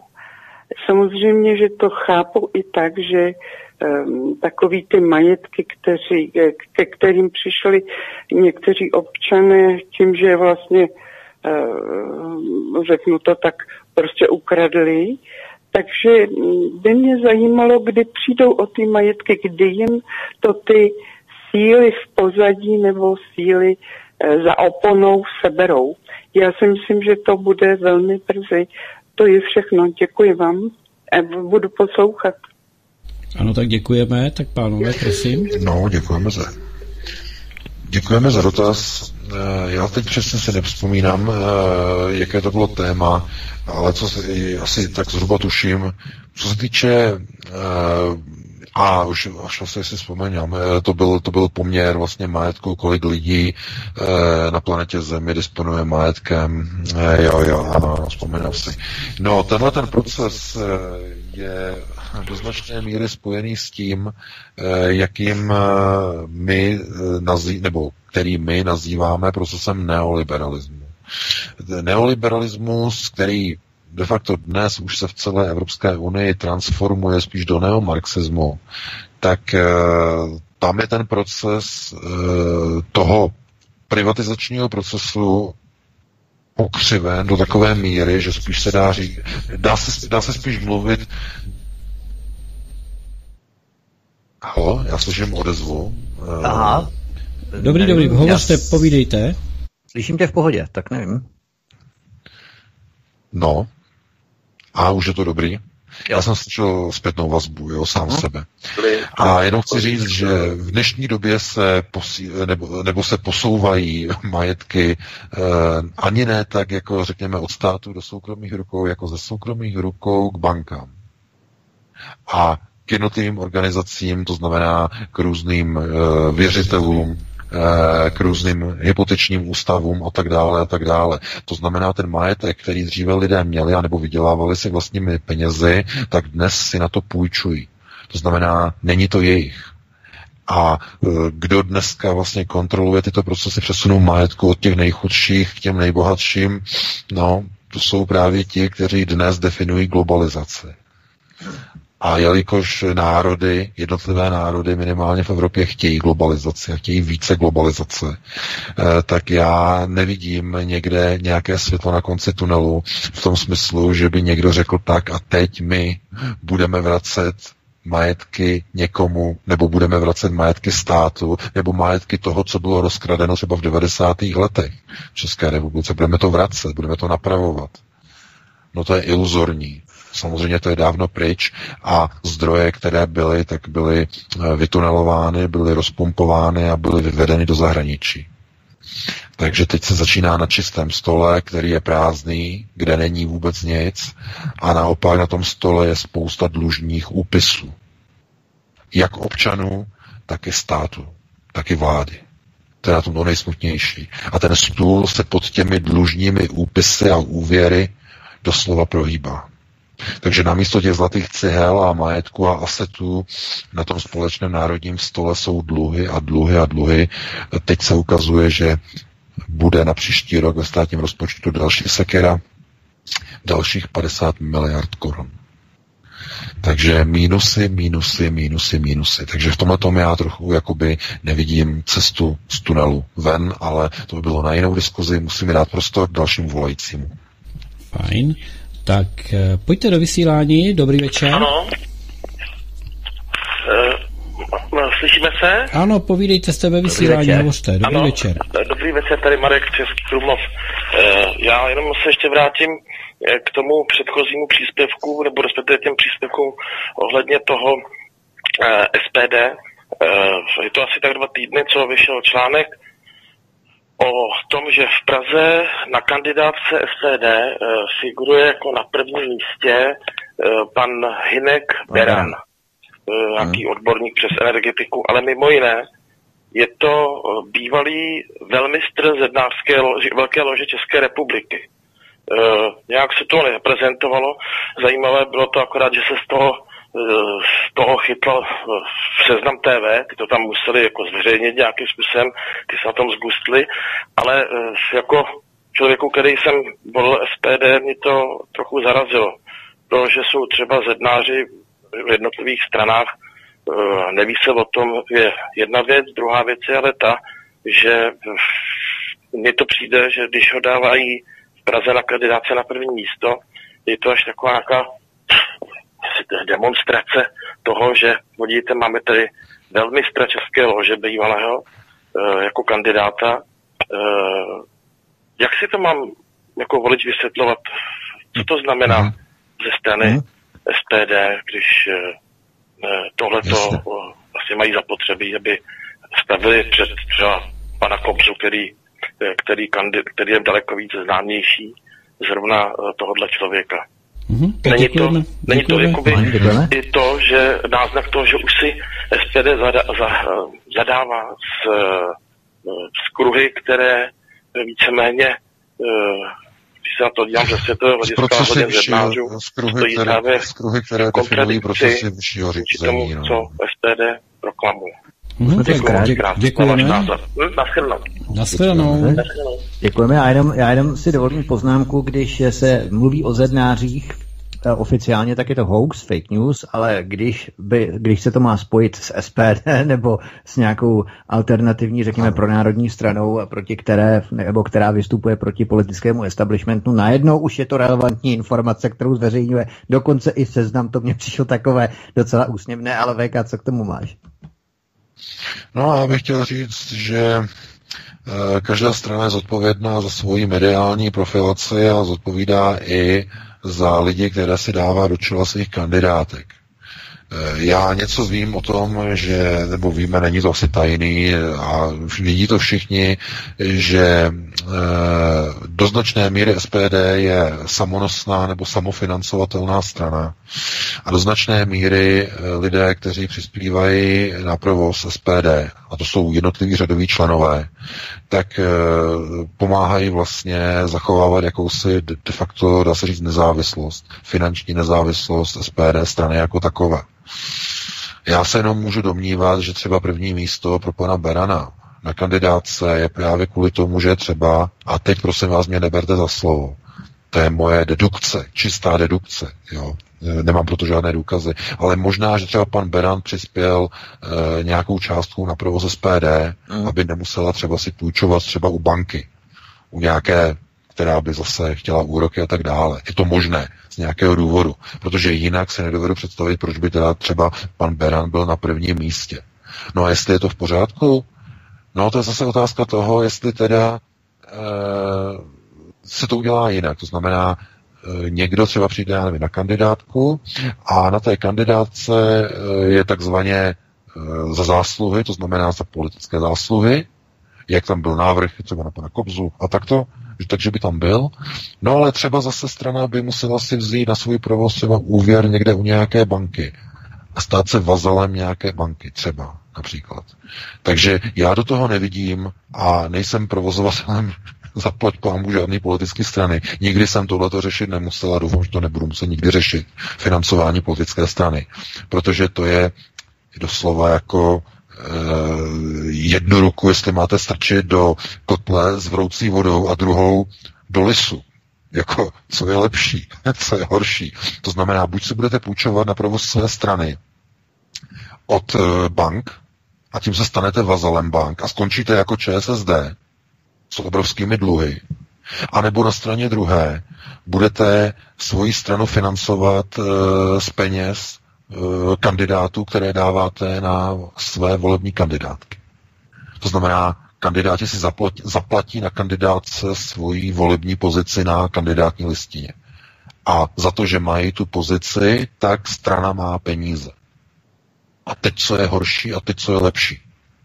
Já teď nevím, já neznám, jakým... Takhle, třeba takhle, tímto způsobem fungují kandidátky ve Spojených státech. Tak to fungují republikáni a demokrati. Ten, já, kdo ale je to, promiň, promiň, že tě přerušuju, ale jenom, jak je to, já jenom dokončím, strana... jenom dokončím, jenom jo, musím, abych nezapomněl, abych zapomněl, já jenom dokončím. Uh, když uh, někdo kandiduje na amerického prezidenta nebo kandiduje do Senátu, tak uh, chce být na třeba na kandidáce na prvním místě nebo chce za daný stát kandidovat, tak musí straně posunout peníze. A většinou to nedělají z vlastních peněz, to hmm. jsou chytří američani nebo kandidáti, ale seženou si takzvané sponzory, které Jasně. zase se šikujou a ti přinesou peníze do té stranické pokladny. Tam si nepůjčují strany u bank ve Spojených státech. To neexistuje. Ale v České republice to e, proces samofinancování dělá jenom SPD. To znamená americký model financování volebních e, kandidátek. No a někdo, někdo řekne, že to je špatné. No, je to, já to nehodnotím, jestli to je špatné. Já říkám, že to, že to je třeba nevyhnutelné. Protože když tam nebude třeba pan Berán, no tak tam bude někdo jiný, kdo třeba zase ty peníze dá od někud z jiného zdroje. A já jsem neviděl teď e, žádnou nějakou stranu, která by na tom s financema byla nějak dobře, že by někdo, no s výjimkou jedné strany, jednoho hnutí, že víme, kterého, tam jako problém s penězma nemají, pana Babiše, takže tam to neřeší, ale u všech normálních stran zkrátka financování hraje alfa omegu. No ale i při tom financování, které je přímé, to znamená přímo od kandidátu, je třeba vždycky dobře uvažovat nad tím, jestli to za ty peníze stojí, jestli to je dobrý politický tah a jaký signál to vyšle. Tohle to řešili republikáni u Donalda Trumpa, demokrati to řešili u Clintonovi, to znamená, jestli to vyjde, jestli je to dobrý politický tah. No a eh, jméno pan Hinek Beran eh, je opravdu hodně překvapující a já opravdu nevím, jestli tohleto byl dobrý, rozumný a dobře promyšlený krok, protože u mnoha lidí tohleto vyvolá velmi negativní konotace. Velmi negativní. Já přitom pana Berana neznám, já neznám nějakou jeho historii, možná ty Vítku znáš víc, ale e, co se týče e, jenom té nálepky, já když si ji představím, když teď někdo napíše na čelní první, prvním místě kandidátky SPD je velmistr zednářské lože pan Beran. No, to působí opravdu velmi děsivě. Jo, minimálně pro mě a nevím, koho to napadlo, takže já to nemůžu komentovat, nevím, co zatím je, vůbec ne, ale e, chápu, rozumím pánovi, že je z toho zděšený, protože já bych byl asi zděšený taky, ale jak říkám, tohle to si musí SPD sama řešit nějakým způsobem. A musí počítat s tím, že když bude nasazovat takovéhle lidi, tak zkrátka bude zájem, mediální zájem a média to dají straně pořádně sežrat. Dokonce možná daleko víc, než kdyby třeba šla strana do nějaké demonstrace e, někde, někde na Klárově možná daleko horší, takže já nevím, ale mně to připadá opravdu, opravdu zvláštní, bizarní. Nevím, jak ty se na to díváš, Vítku, ale uh, myslím si, že politika přináší obrovské překvapení a někdy úplně mi vyráží dech, co všechno je možné v České republice. Takže já jenom, já jenom opravdu ve zkratce, protože už čeká určitě další volající, ale opravdu velmi, velmi bleskově. Jak je to VK se stranou nebo s hnutím, které už je eh, součástí politické scény, politického ranku, je součástí parlamentu České republiky? A to znamená, že dostává i finance od eh, těchto struktur a v podstatě má nárok na, tuším, 22 poslanců, tak mají nárok na 170 milionů za čtyři roky, to znamená, když to vydělíme čtyřmi, vychází to něco kolem 40 milionů, to znamená, že oni v podstatě si mohou z větší části politickou kampaň v rámci komunálních i dalších voleb financovat z těchto politických zdrojů, ne? Eh, no, eh, záleží na tom, eh, jak dalece a jak, řekněme, mm, řekněme hluboce chtějí opravdu posílit své pozice. Protože pozor, budou se blížit teď na podzim komunální volby, senátní volby. Dvoje volby. Příští rok v květnu jsou další volby do Evropského hmm. parlamentu. Takže to budou neskutečné výdaje, obrovské výdaje. A já se obávám, že na čtyři roky ten státní příspěvek je naprosto je nedostatečný. Nějaký 40 milionů nebo kolik to je, když máte tři kampaně za sebou během necelého roku, komunální, senátní a evropské volby, to, jako, to, to se jako nedá prostě jako rozpočítat. Takže a pozor, a pozor, a to je důležité, můžou být dokonce i volby parlamentní, předčasné. Jasně. Protože Víme, víme, o čem, víme, co probíhá teď při sestavování vlády. Takže oni potřebují eh, zkrátka mít někde nějaká místa, eh, potřebují třeba oslovit a mají nějakou kampaň. A nepočítám, že oni budou chtít se znovu zadlužovat, takže hledají třeba další lidi na svoje kandidátky, kteří třeba, já nevím, pomůžou třeba stranický pokladně, eh, ale pozor, i hnutí SPD si musí dát obrovský pozor, aby při snaze za každou cenu eh, být stranou, která je samofinancovatelná od vlastních členů, aby se neuchýlila k dosazování nekompetentních lidí na kandidátky. Jenom díky tomu, že mají peníze. Na to si musí dát každá strana. I ve Spojených státech to je normální, že e, senátor je bohatý, je to miliardář, on, on vyhraje volby, protože si je zaplatí a potom je úplně neschopný v kongresu. To je normální, to je realita ve Spojených státech. Že tak, lidi, kteří jsou bohatí. Takže, ale musíme to ukončit, takže no. dát prostor dalšímu volajícímu samozřejmě. Jasně. Ano, tak už máme připraveného volajícího. Tak eh, jste ve vysílání, prosím, je to vaše. Eh, dobrý večer, zdravím pana Veka, zdravím pana Vítka a zdravím studia Midgard. Ano, zdravíme.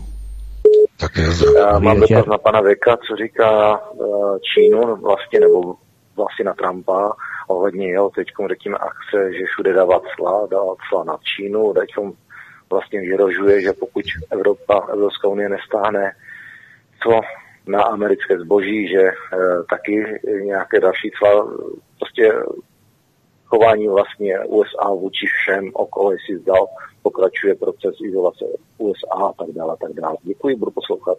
Děkujeme Aha. za dotaz, dobrou noc, hezký večer. No, děkujeme za dotaz. Eh, no, tak mezi Spojenými státy a Evropou a také mezi Spojenými státy a Čínou eh, hoří obrovská a doslova se rozpoutává obrovská obchodní válka. Spojené státy posilují proces svého izolování, ochrany svého vlastního trhu. Je to typický pronárodní systém izolace, systém izolacionismu.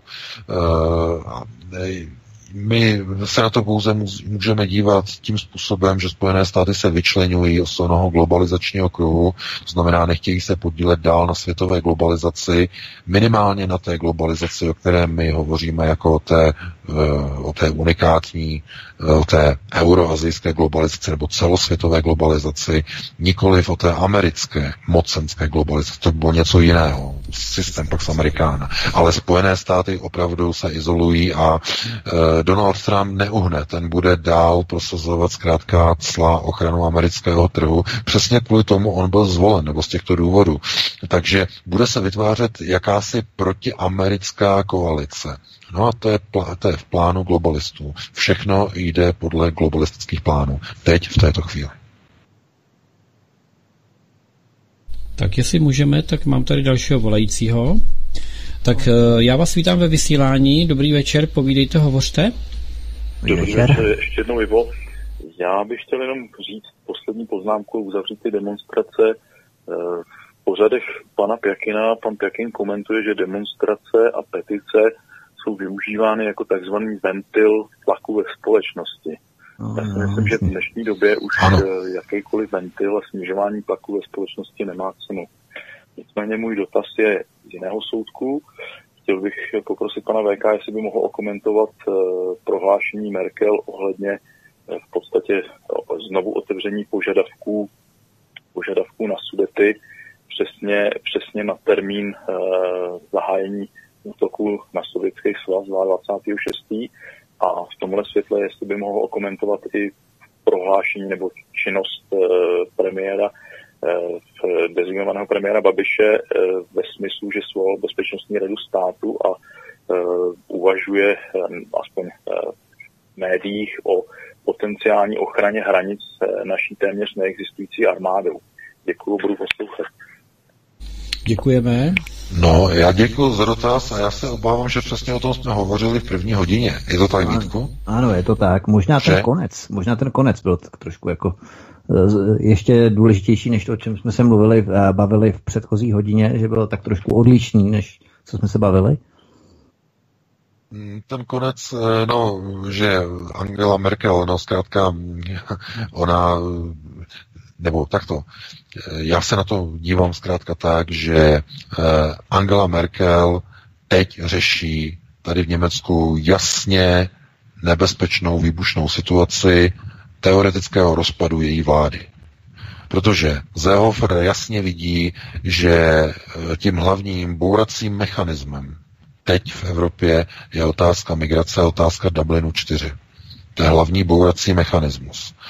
A e, vypadá to, že Angela Dublin 4 nezvládne a že přijdou jiné procesy, jiný systém řízení a ona honem honem na poslední chvíli eh, vrací zpátečku, eh, svolala mimořádný summit teď na neděli a bude eh, jednat s představiteli tzv. migračních států, ale my si musíme počkat na to, co z toho vlastně vyleze, protože se ukazuje, že ten nový model migrace, to znamená jakýchsi detašovaných pracoviští přímo na území Severní Afriky a přerozdělování migrantů tam, kdy přímo od tamtud budou potom v tichosti převáženi už jako legální azylanti do Evropy, tak eh, to je daleko nebezpečnější proces než celý Dublin 4. Ale o tom jsme mluvili eh, na začátku pořadu. Tak mám tady dalšího eh, volajícího, mám tady další dotaz. Tak povídejte, co byste se rád dozvěděl. Můžu mluvit? Ano, dobrý večer. Ano, dobrý večer. Dobrý večer vám všem. Tady je vláda z Lučína, důchodci invalidní. Jestli můžu se zeptat, eh, čtu vás a poslouchám vás asi tak půl roku. Eh, velmi mě to zajímá, dokonce eh, některé ty články u vás na tom Aeronet nebo na tom rukojmí kopíruju, přeposílám, uh, už jsem několik balíků spotřeboval na tiskárně a i, tisk, a i tiskovou kazetu, ale nevím, jestli to jako důchodce můžu nějak ovlivňovat dál, protože takhle, když to rozdávám nebo připosílám tyhle ty informace nebo aspoň ty e, strany jako na internetu, nevím, nevrací se mi zpětná vazba, že by někdo se s tím letím dál zabýval.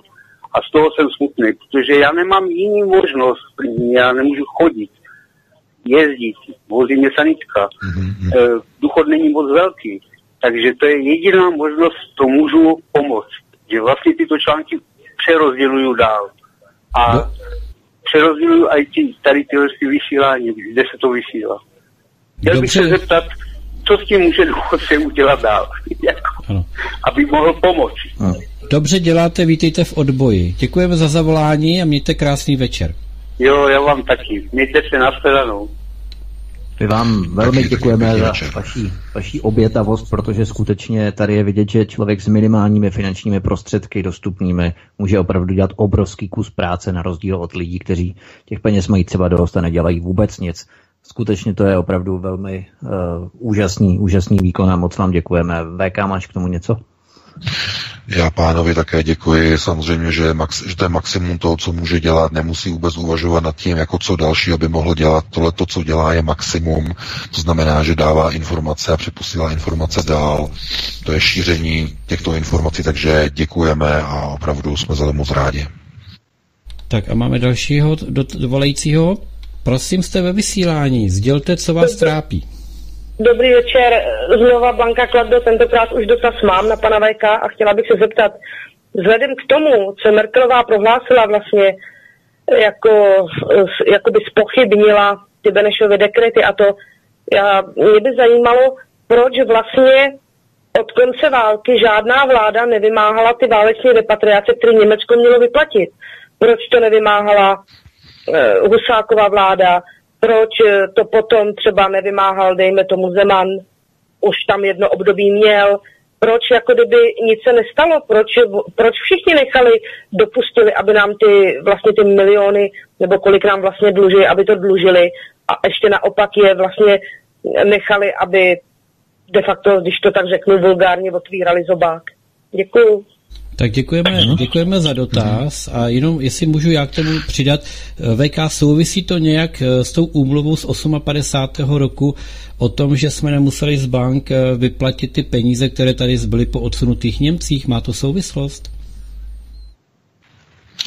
No tak já bych to vzal trošku jakoby od konce. Eh, Česká republika se zbavila veškerých eh, reparačních nároků oficiálně jménem samostatné České republiky po podpisu nebo v rámci podpisu tzv. Česko-německé deklarace z roku 1997. Mm. Tato deklarace jasně vytvoří takzvanou černou čáru nebo takzvanou, takzvanou nulovou variantu. To znamená, Česká republika se tím vzdává veškerých reparačních nároků a naproti tomu Německo se vzdává vzdává veškerých poválečných nároků k České republik, republice ve vztahu k odsunutým Němcům. To je znění uh, Česko-německé deklarace. Ten problém, který vyvstal nově, ještě později, po roce 1997, ten problém se jmenuje Lisabonská smlouva, která vhodila do jakýchkoliv jistot České republiky Eh, ne vidle, ale doslova odjištěný granát. Lisabonská smlouva totiž ukotvila, že lidskoprávní, majetková a humanitní práva nebo práva, která se týkají lidských práv, jsou eh, nepromlčitelná. A nedají se promlčet ani mezinárodními smlouvami. To znamená, že Česko-německá deklarace nemá vliv a nemá blokační mechanismus na požadavky sudeckých Němců vůči České republice, která je nástupnickým státem Československa. To je ten hlavní problém. To znamená, my se vůbec nemusíme dívat do roku 58, do dohody nebo takzvaného uh, ukotvení eh, mezi tehdejší komunistickou vládou a západním Německem, které stanovovalo eh, jednak eh, navázání obchodních styků, bankovních styků s západním Německem, ale také určité majetkoprávní vztahy, které tehdy ještě se vztahovaly k odsunutým Němcům a Němcům, kteří zůstali na území Československa z mnoha, mnoha důvodů. Část jich zůstala, nebyla odsunuta. Takže e, tohleto pro nás teď už je irrelevantní. Pro nás jedinou relevantní věcí je Lisabonská smlouva, ke které se připojila Česká republika, i když e, Václav Klaus odmítal podepsat Lisabon, nakonec byl k tomu donucen a my jenom teď musíme se dívat na to a dávat pozor, jaké signály přicházejí od německé vlády, protože jakýkoliv signál, který vyjde z Berlína, představuje riziko pro všechny obyvatele sudeckého prostoru na území České republiky. Nejsou v bezpečí nemovitosti, pozemky, nejsou v bezpečí žádné věci, které vznikly z majetkových titulů Benešových dekretů, protože Lisabonská smlouva umožňuje zažalovat Němcům, sudeckým Němcům, eh, jakékoliv majetkové nároky ve vztahu k České republice. Jediný, kdo, to, kdo tomu dosud brání, těm žalobám, tak je konkordát uh, Horsta Zehofra s Berlínem a s berlínskou mocí Angely Merkelové protože pokud by začaly padat žaloby u německých soudů na Českou republiku kvůli sudeckým nárokům, tak by to rozbouralo eh, česko-německé politické vztahy do naprosto neopravitelné roviny, což si nemůže Berlín dovolit. Berlín potřebuje mít své řídící procesy na území České republiky. Z tohoto důvodu Berlín po roce 89 dlouhodobě blokuje činnost eh, sudetu německého Landsmannschaftu a ještě donedávna vláda zcela bojkotovala a nehlásila se k sudetu německým sjezdům s výjimkou právě Horsta Seehofera, eh, který byl donedávna premiérem Bavorska a který dnes je ministrem vnitra, který dnes je také koaličním partnerem Angely Merkelové. Takže ten výrok, její výrok, ohledně e, nepřípustnosti a neomluvitelnosti vyhánění sudeckých Němců z Československa je do značné míry úlitbou a jakýmsi vstřícným vzkazem Horstu Zéhofrovi, který je jedna ruka s Berntem Poseltem, s šéfem sudetu německého Landsmannschaftu, který Horsta Zehofra pravidelně rok co rok zve na sudetu německé sjezdy. To je to hlavní. A proč toto spojenectví mezi Poseltem a Zehofrem funguje? No jednoduše, ruka ruku myje. Protože sudetáci je jedna z největších volebních skupin v Bavorsku e, eh, CSU. To znamená Zehofrovi mateřské strany. Je to obchod, tvrdý biznis politický biznis. To znamená, on tlačí na Merkelovou, posuň a vyšli vzkaz do Prahy, že je tady majetkový nárok, že je tady nepřípustnost e, vyhnání Němců. No a protože je Merkelová zahnána do kouta, musela pronést tento výrok, i když věděla, co to způsobí. Ale musela ho vyslat, protože Zéhofer je momentálně ten, kdo tlačí na pilu a ona se snaží zachránit vlastní koalici.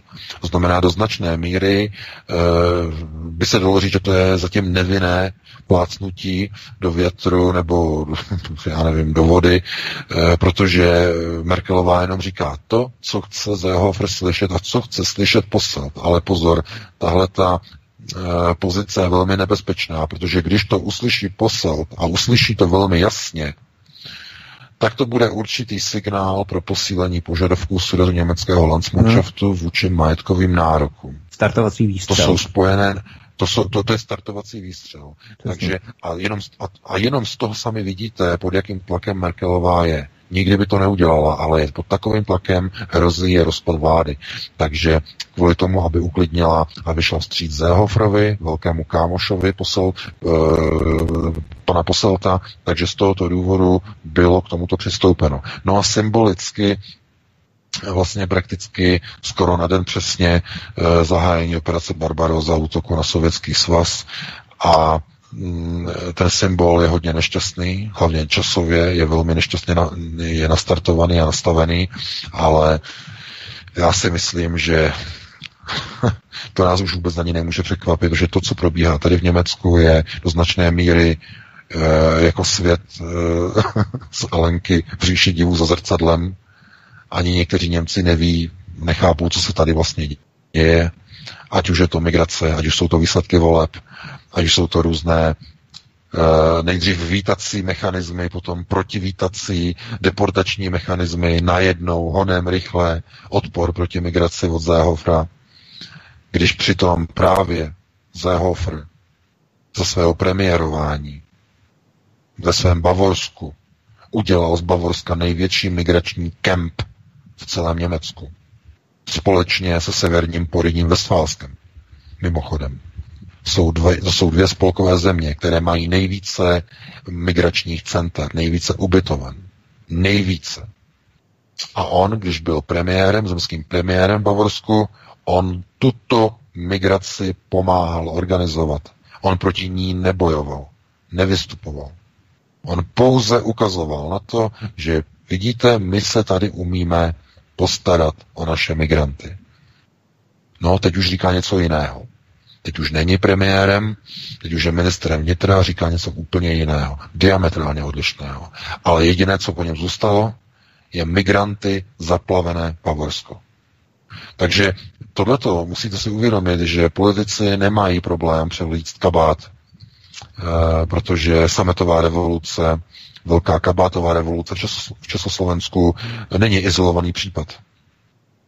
Kdy z komunistů se stali demokrati, nebo ze straníků se stali vel, velcí e, revolucionáři OF, občanského fóra. Ne, ne, ne. Tohleto převlíkání kabátu totiž umí všichni politici všude, v mnoha zemích, i tady.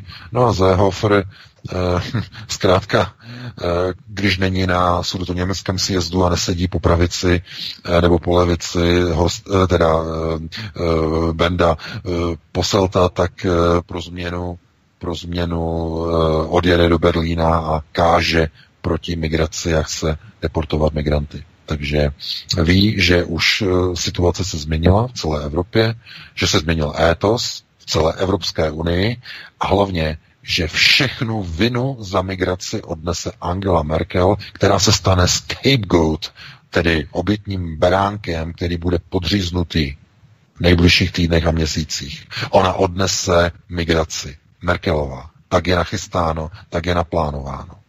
Ale ještě o tom neví. Ještě musí udělat několik kroků. A tím krokem bude přenesení migrace z Dublinu do Rabatu. To je ten hlavní krok, který bude učiněn zřejmě příští týden na tom velkém summitu. Takže já tohle to musím ukončit, přetahujeme, vracím ty slovovítku a rozloučíme se. Ano, přesně tak, přetahujeme, už budeme končit. Eh, my se tady loučíme, přejeme krásný zbytek večera. Po případě hezký poslech dalších pořadů svobodného vysílače. Dnes nevíme, jestli bude červené, bílé nebo růžové nebo jakékoliv další víno. Petr nám to určitě pozdradí. A já se budu těšit na příští pátek o 19 hodin. Na vás, vážní posluchači, Petře, moc děkuji za vysílání a určitě okomentujeme události, které se určitě stanou během následujícího týdne. Zdraví vás svítek od mikrofonu, přeju hezký zbytek večera a také hezký, i když deštivý a velmi chladný, na rozdíl od čtvrtka, víkend. PK. Já se také loučím, nebudu tu prodlužovat, přeji vám krásnou dobrou noc a opět se budu těšit příští pátek od 19 hodin naslyšenou. Takže krásnou dobrou noc. Pánové, děkuji vám oběma, byli jste skvělí. Děkuji všem posluchačům, kteří volali, telefonovali, reagovali, i těm, kteří poslouchali a věřím, že opět za týden to bude velmi zajímavé, až zase zazní znělka pořadu, co nám týden dal a co nám týden vzal. Takže děkuji všem a písničkou se rozloučíme, mějte se velice pěkně.